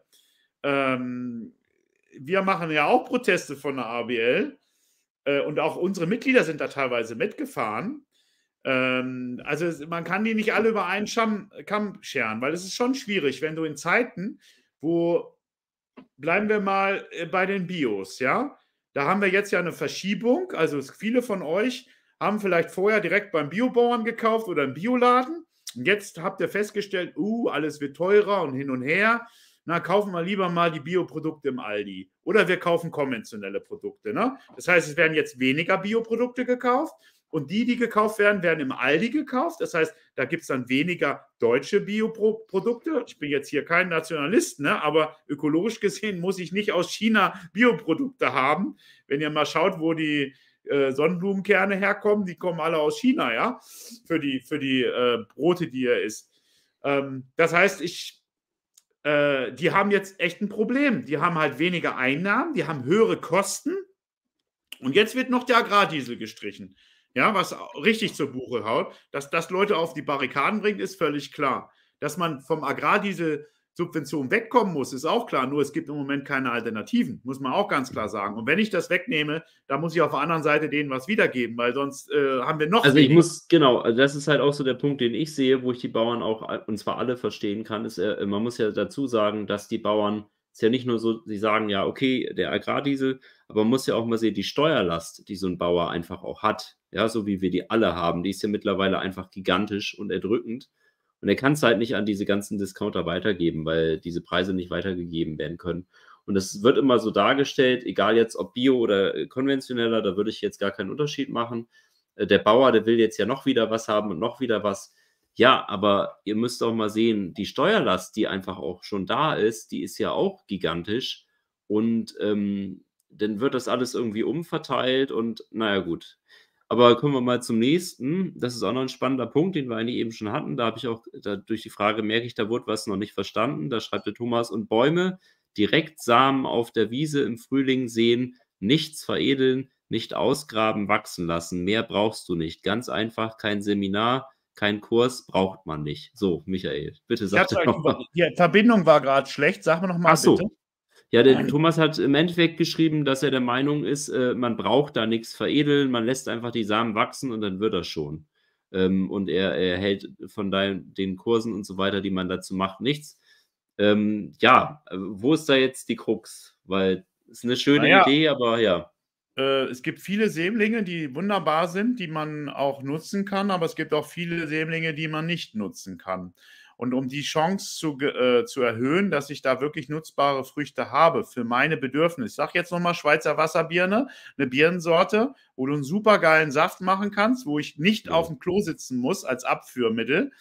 Äh, wenn ich die jetzt aussehen würde, ist die Chance da, dass wieder was Ähnliches bei rauskommt, kann aber auch was ganz anderes bei rauskommen. Das heißt, ich habe sehr viel Arbeit in was reingesteckt, äh, was ich dann nachher wieder rausreißen muss. Und es dauert ja eine Zeit, bis ich sehe, was sind denn da für Früchte dran. Das heißt, du hast sehr viel Arbeit erstmal, diese Bäume groß zu bekommen, um dann vielleicht nach keine Ahnung, je nach Sorte, oder ist ja keine Sorte, je nach Sämling, vielleicht nach 15 Jahren die ersten Äpfel dran zu haben, um dann festzustellen, oh, die, die schmecken Die ja schmecken überhaupt alle nicht. nicht. Ich kann da gar nichts draus machen, die vergammeln mir ja schon am Baum und dann habe ich ja hier überall Schorf drauf und was weiß ich. Also, das teile ich nicht, was du sagst.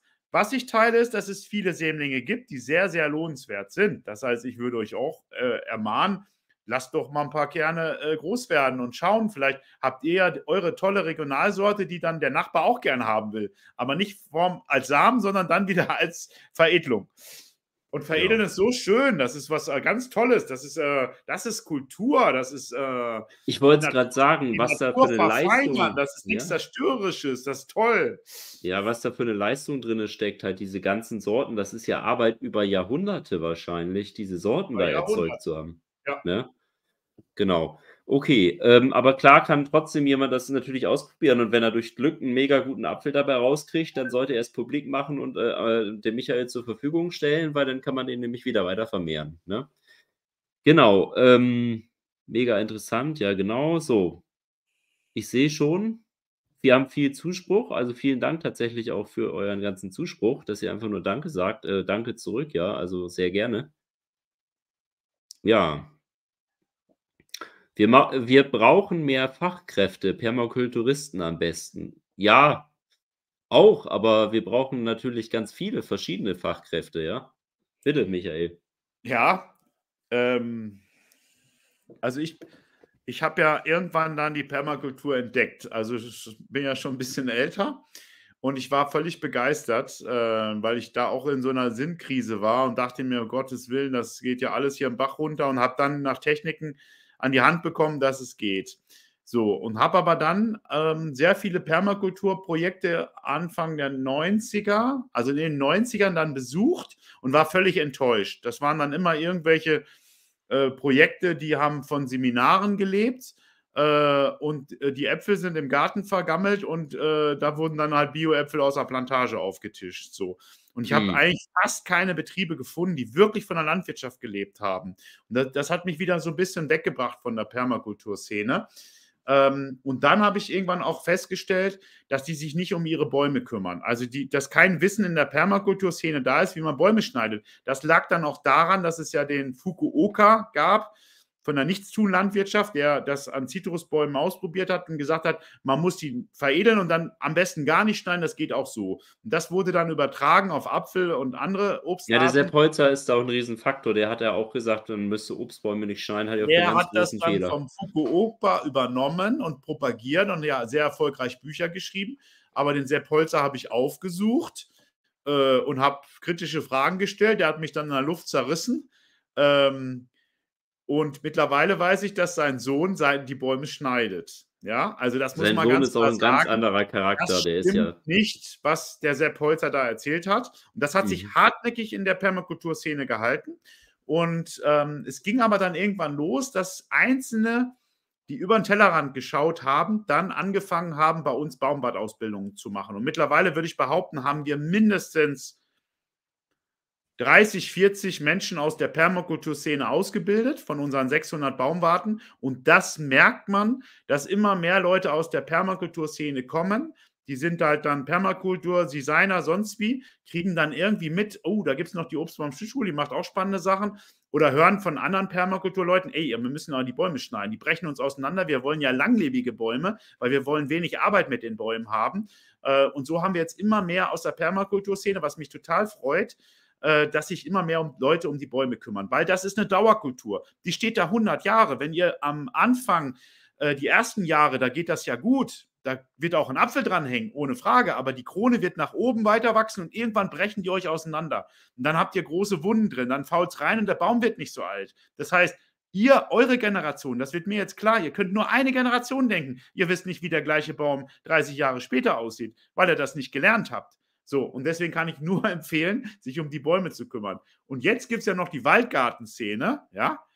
Ähm, da gibt es jetzt übrigens den Waldgartenkongress, Online-Kongress am Anfang März oder was? Müsste ich jetzt nachgucken.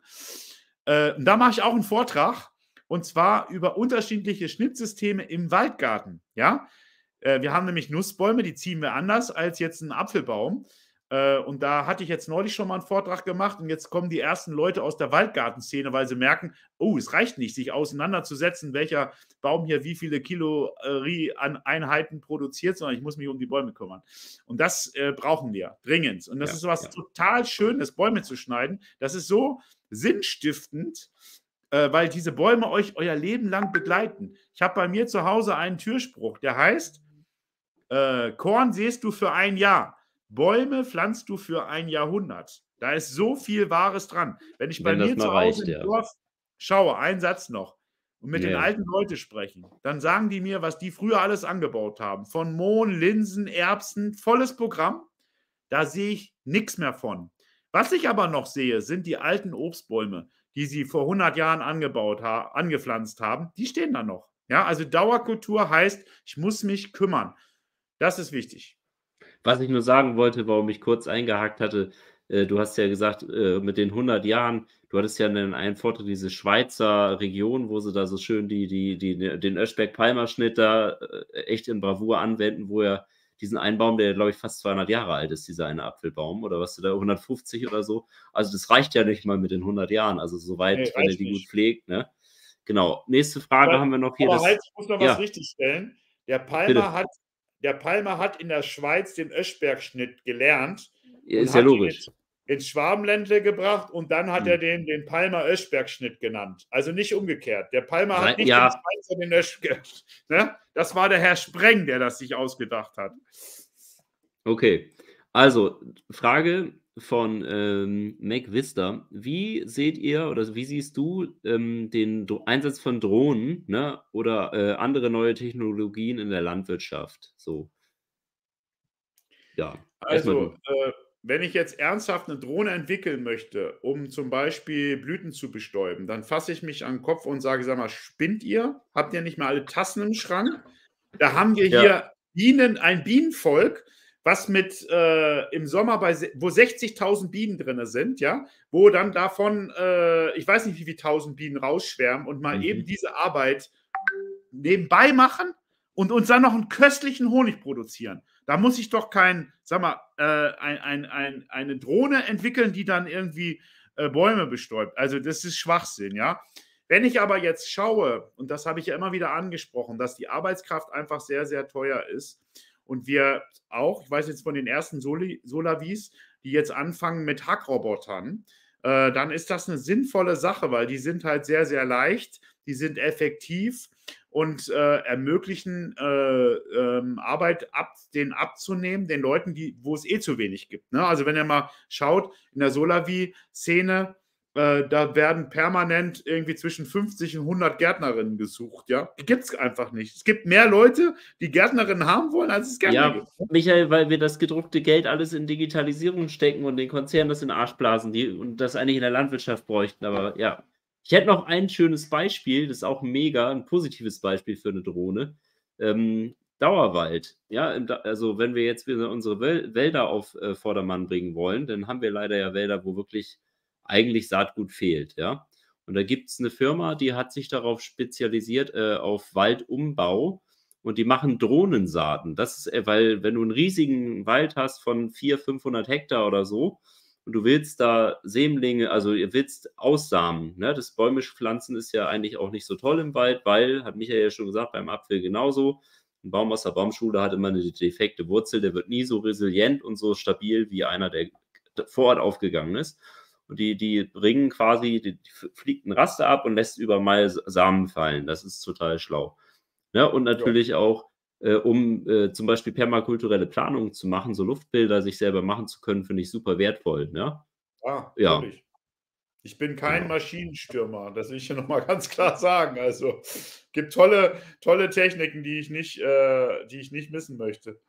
Ja, ähm, dann haben wir noch hier. Aber, aber das müssen wir vielleicht auch nochmal ansprechen. Bitte, äh, ja. Digitalisierung in der Landwirtschaft ähm, muss man sehr kritisch angucken, weil sie dient dazu, sozusagen eine weitere Abhängigkeit der Menschen, die Landwirtschaft machen, zu schaffen. Die sammeln nebenbei noch Daten ein. Sie, äh, ne, also es ist höchst, also vom Datenschutz auch sehr, sehr brisant. Und da bräuchte es dringend eine Initiative, dass man das richtig lenkt. Dass es wirklich eine Technik ist, die dem Menschen nützt und nicht eine Technik, die den Menschen unterdrückt. Ja, dazu kommt noch, wir hatten die Tage einen Podcast gemacht mit der Frau äh, Professor Gabriele Berg und äh, die forscht über das Mikrobiom und da haben sie relativ gut erforschen können, dass es, es fängt schon an, dass die Gesundheit eigentlich anfängt, wenn man selber den Apfel pflückt und dann Kontakt hat am Baum mit dem Mikrobiom, wo es noch voll da ist, bevor es dann nach viel Lagerkette und so bei einem zu Hause landet, dann hat man dieses Mikrobiom nämlich nicht. Das heißt, auch unsere Gesundheit hängt sehr stark daran, wie wir Landwirtschaft betreiben, ob wir noch Hand anlegen oder halt eben nicht. Und ich kann eigentlich nur jedem empfehlen, bis zum gewissen Grad irgendwie auch noch seine Lebensmittel ein Stück weit sogar selber zu produzieren. Ja, und da hilft eine Drohne, die den Apfel pflückt. Da gibt es ja auch mittlerweile wirklich so, so, da hast du quasi deinen, deinen fahrenden Maschinenapparat mit Kabeln an die Drohne und die seinem kleinen Kabel, weil das natürlich die, dass die keinen Akku braucht und die fliegen dann die Spalieröbste ab und pflücken quasi ganz automatisiert die Äpfel. Und dieser Apfel, der wird nie berührt von einem Menschen, bis der dann nach, nach einer langen äh, Kühlkette irgendwann mal bei dir zu Hause landet, nach, was weiß ich, zwei Monaten, wo der dann das halbe Mikrobiom schon wieder verloren hat. Dabei kann kein gesundes Lebensmittel rauskommen. Das ist dann halt ein Füllstoff, ne? Und so, das sehe ich halt auch als negativ dann. Also, das ist immer, man muss damit ein bisschen Bewusstsein rangehen, aus meiner Sicht. Genau, wir haben ja noch, äh, noch eine Frage. Wo waren wir stehen geblieben? Ähm, so, wie geil ist das denn, Michael Gräum im Live? Ja, schön, dass euch das freut. Äh, wann kommt das Obstbaumschnittbuch in den Handel, mein oh, Lieber? Scheiße. ja, ich, die Frage kann ich nicht beantworten. Das liegt daran, ich kann mich immer nur rausreden, dass immer wieder was dazwischen kommt. Und jetzt ist mir die Baumland-Kampagne dazwischen gekommen, wo es die Möglichkeit gibt, dass ich jetzt vier Leute koordiniere, zusammen mit der Marlin Tiebel, dass wir professionell die Förderbedingungen für Gehölze auf Bundes- und Landesebene verbessern, so dass ihr vielleicht zukünftig, wenn ihr euren Waldgarten pflanzt, eine Förderung dafür bekommt, weil Pflanzen kosten eine Menge Geld. Ähm, genau. Und so ist das Buch wieder ins Hintertreffen geraten. Ich bin aber permanent schon auch dran. Also jetzt zum Beispiel sind jetzt wieder zehn neue Zeichnungen, habe ich in Auftrag gegeben. Die sind jetzt auch fertig und sind jetzt im neuen Skript, was man kriegt, wenn man bei uns einen Kurs macht, sind die auch schon wieder mit drin. Also im Prinzip ist das Baumwartin-Skript ähm, die Grundlage für das Buch. Und es, das Baumwartin-Skript sind 600 Seiten. Ähm, das ja, gibt es jetzt auch schon. Aber das Buch äh, braucht noch ein wenig. ja. Okay, äh, noch eine Frage hier. Das ist, geht noch wieder so in die Fachrichtung Bäume schneiden. Bäume schneiden schon, aber der Baummentor weil da habe ich auch irgendwann schon mal ein Video gesehen. Egal. Der Baumentor meint, aber im Sommer, da heilen die Wunden schneller. Was sagst du das? Hört sich, das hört sich so nach so einem YouTube-Video an, wo irgendeiner gerne äh, sich reden hört. Und also ich habe noch kein YouTube-Video, könnt ihr mir gerne mal einen zuschicken, gesehen, wo ich gesagt habe, wow, da ist mal jemand, der sich richtig gut auskennt. Das finde ich alles sehr, sehr stümperhaft. Teilweise sind die Videos gut gemacht, auch mit Zeichnungen und so. Aber ich merke, da ist nicht viel Wissen da. Also es ist völlig klar, dass eine Wunde im Sommer besser verheilt. Das ist jetzt also obstbauliches Wissen aus dem 19. Jahrhundert. Da muss ich nicht äh, ein YouTube-Video drüber machen. Die Frage ist aber eine ganz andere. Und zwar, und das ist das, woran ihr erkennt, ob da jemand Ahnung hat oder nicht. Hat der ein Ziel für den Baum? Ist der Ziel, der, das Ziel jetzt für den Baum, dass die Wunde schnell verheilt? Oder ist das Ziel, dass man einen Baum schneidet, weil man ihn schneiden muss oder eine Mütze durchwerfen muss oder was weiß ich? Wir arbeiten zielorientiert und wir haben ein Ziel für einen Jungbaum, dass der Baum möglichst schnell groß wird. Und wenn ich den im Sommer schneide, dann verheilen zwar die Wunden gut, aber der macht keinen Trieb. Das heißt, ich schneide noch länger an den Baum. So. Und wenn ich aber einen Jungbaum schneide, dann habe ich nur kleine Wunden. Die macht ja auch im Winter zu. Das heißt, ich muss abwägen, was jetzt wichtiger. Habe ich aber eine empfindliche Steinobst, was noch Trieb macht, natürlich schneide ich die im Sommer und kombiniere das gleich mit der Ernte. Aber äh, deswegen, das ist sehr, sehr vielschichtlich und ich bitte euch, schaut genau hin, was ihr euch da anschaut und kommt einfach mal bei uns zur Online-Schulung. Nächste Woche, muss ich überlegen, nee, jetzt kommt nochmal Sämlingskurs und dann kommt Jungbaumschnitt. Und das guckt dir da mal an und dann kannst du dich äh, freischalten, da kann ich dich auch sehen. Und dann sagst du mir, Micha, das ist voll scheiße hier. Ich gucke weiter YouTube-Videos. Du wirst nämlich sehen, dass wir eine andere Liga spielen. Wir spielen nämlich Bundesliga und wir machen das systematisch Ast für Ast, Knospe für Knospe. Und wir überlassen nichts dem Zufall und wir können für jedes auch eine Antwort liefern, warum wir was machen. Also diese YouTube-Videos, die zu millionenfach geklickt werden, ab und zu schaue ich mir die an. Mir graut's, mir graut's. Ja, ähm, da kam direkt eine Kritik von der Juliane, die sagt, was? Dominik Schreiber macht doch super Videos äh, zum Obstbaum. Nee, macht er nicht. Macht er nicht. Und wenn wir die okay. uns angucken, dann könnte ich dir fachlich relativ schnell Sachen klar machen, dass es einfach Schwachsinn ist. Er macht das gut, die Videos, da sage ich nichts. Aber fachlich äh, habe ich da einiges zu kritisieren. Sehr, sehr viel. Da könnten wir ja mal, also ich weiß nicht, ob er da bereit ist, ähm, aber das wäre ja natürlich mal interessant. Aber man muss dann natürlich auch dazu sagen, vielleicht so ein bisschen, ähm, um das nicht jetzt zu negativ, er ist halt ein Betrieb, der halt erstmal auf Ertrag aus ist. Jetzt vielleicht nicht unbedingt auf Baumphysiologie, oder? Würdest du das so stehen lassen, Michael? Dazu kenne ich ihn zu wenig, aber äh, auf Ertrag bin ich ja genauso aus. Nur das sind mm. ja im Obstbaumschnitt gibt es zwei Schnittsysteme. Wir haben einmal den Erwerbsobstschnitt, da geht es nur um Ertrag. Die Bäume tragen ab zweiten Jahr. Da geht es nicht ein Gerüst aufbauen, was jetzt über 100 Jahre halten muss. Ja? ja. Im Hochstammobstbau geht es erstmal die ersten 15 Jahre nicht um Ertrag, sondern um ein Gerüst aufzubauen, was da in den nächsten Jahren danach mass massenhaft Ertrag hat. Ja. Und das ist halt was komplett anderes. Ja. Und ähm, ja, aber es hat seine Berechtigung. Ist ja toll, wenn ihr die Videos guckt und wenn ihr dadurch Interesse, Interesse bekommt fürs Obst und vielleicht ja dann auch mal zu uns kommt und, und lernt, wie man es richtig macht. Das, so weit hänge ich mich hier aus dem Fenster. Wenn ihr mit jemand, wenn ihr hier mit Daniel dann gesprochen habt, wenn er die Baumwartausbildung gemacht hat, wird er ja mal was zum Besten geben, denke ich, dann werdet ihr sehen, der wird jetzt anders antworten auf, auf Fragen, äh, wie, wie die jetzt eben gerade kamen. Mache ich ja jetzt schon. Ich habe ja schon viele von euren Seminaren besucht und ich äh, habe da auch tatsächlich einige Kritikpunkte, äh, wo ich dann auch mit dir nochmal, also wo sich einfach, wo, wenn man eure Sachen sieht, da ergeben sich einfach unglaublich viele Fragen zu dem, wenn man viel Dominik Schreiber vorher geguckt hat, wo man sagt, Moment mal, warum macht ihr das denn so anders? Und da gibt es dann auch Erklärungen. Also da, das ist einfach sehr spannend, weil da kann man ganz viel lernen. So als Einstieg, ich fand das eigentlich, muss ich sagen, als Einstieg bei den Dominik Schreiber ganz interessant. Da lernt man viele Grundlagen und bei euch lernt man halt dann, wie du sagst, so, du musst, aber ich würde es nicht ganz so drastisch formulieren, du sagst, wie man es richtig macht. Ähm, ja, wahrscheinlich hast du recht, aber es ist halt einfach für mich einfach nochmal, wie du sagst, so ein Lernfortschritt. Aber ist einfach was ganz ein, anderes. Ein Satz: Man lernt den Obstbaumschnitt nicht mit Online-Seminaren. Den lernt man mit der Schere an der Hand. Wir nennen das geführte Praxis. An schön geschnittenen Bäumen. Und dann irgendwann kommen die Gurken, ja. Und da gibt es eine Didaktik. Äh, und das ist das, was dann einem die Sicherheit gibt. Also ich würde hm. behaupten, wir können noch so viele Videos gucken. Ihr werdet nicht so gut Bäume schneiden können. Man muss es machen. Man muss das machen. Ja, ja. Merke ich auch. Ich mache es ja jetzt schon einige äh, Jahre und, und äh, viele Bücher gelesen, aber das, eure, eure Sachen fand ich dann nochmal so, das war nochmal was anderes. Genau, dann schreibt die Ulrike noch, ich weiß nicht, den Film kenne ich gar nicht. Ich empfehle noch den Film über Vandana Shiva, ein Leben für die Erde. Sagt dir das was, Michael? Naja, Vandana Shiva ist eine alternative Nobelpreisträgerin, die sich ganz massiv für Saatgut eingesetzt hat. Ja, die Frau kenne ich, aber den Film kenne ich nicht. Heute, ich habe ihn, glaube ich, mal gesehen, aber ist schon, der ist, glaube ich, schon älter, der Film, wenn ich mich recht ja. erinnere. Tolle Frau auf jeden Fall, ja.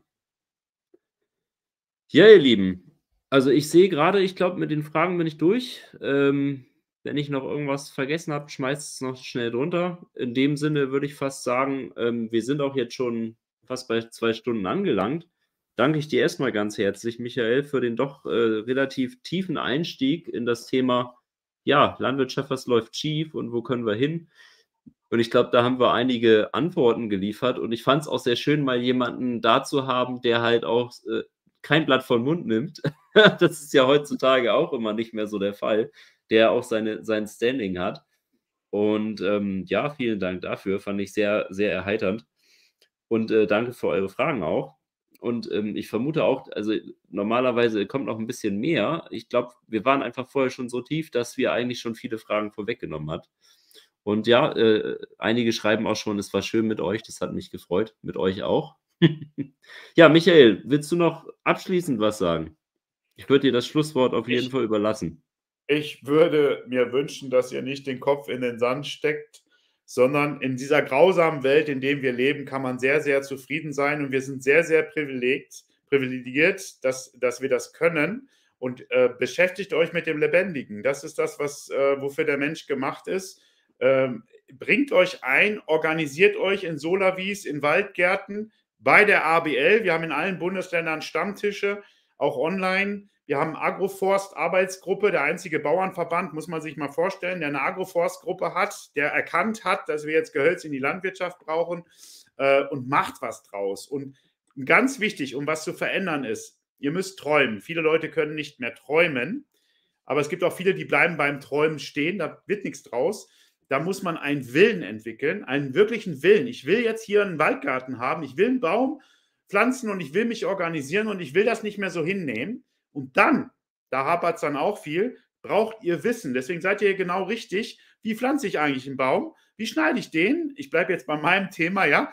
Und das könnt ihr auf alles übertragen. Und wenn ihr diese Sachen zusammenbringt, dann könnt ihr die Welt verändern und manchmal im ganz Kleinen und manchmal im ganz Großen. Und das äh, möchte ich euch gerne noch mitgeben. Ja, und dann würde ich noch ergänzen wollen, setzt euch mit hartem Geld auseinander, damit wir auf lange Sicht diese Politik und äh, dass wir das irgendwie ändern können auf positive Art und Weise. Das all das, was Michael da sich wünscht und erträumt hat, auch sich irgendwann in ein, zwei, vielleicht auch drei Generationen, ich glaube, das ist halt echt ein langer Prozess, oder? Würdest du auch wahrscheinlich so sehen, verwirklicht. Ja. Und da bin ich sehr positiv. Guckt euch vielleicht nochmal den Livestream an, äh, den, den, den Podcast an, den ich mit dem Roman Rea über permakulturelles Geldsystem gemacht habe, auch wenn das vielleicht nicht euer Thema ist Vielleicht habt ihr danach auch einen ganz anderen Standpunkt zu dem. Äh, ich will jetzt nicht auf, auf das Geld, was da gemeint ist, hinaus, weil das schon wieder viele triggern würde. Dann gucken Sie es nicht an. Guckt es euch einfach erstmal an und vielleicht sagt ihr am Ende, ja, jo, das ist es.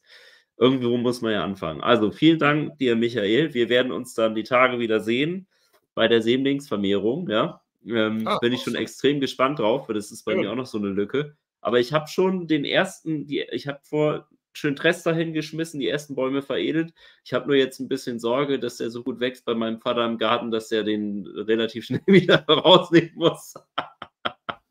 Könnte passieren. Na gut, alles klar, mein Lieber. Vielen Dank. Ich mache jetzt erstmal hier dicht und dann schnacken wir nochmal privat. Macht's gut, ihr Lieben. Bis zum nächsten Mal. Tschüss.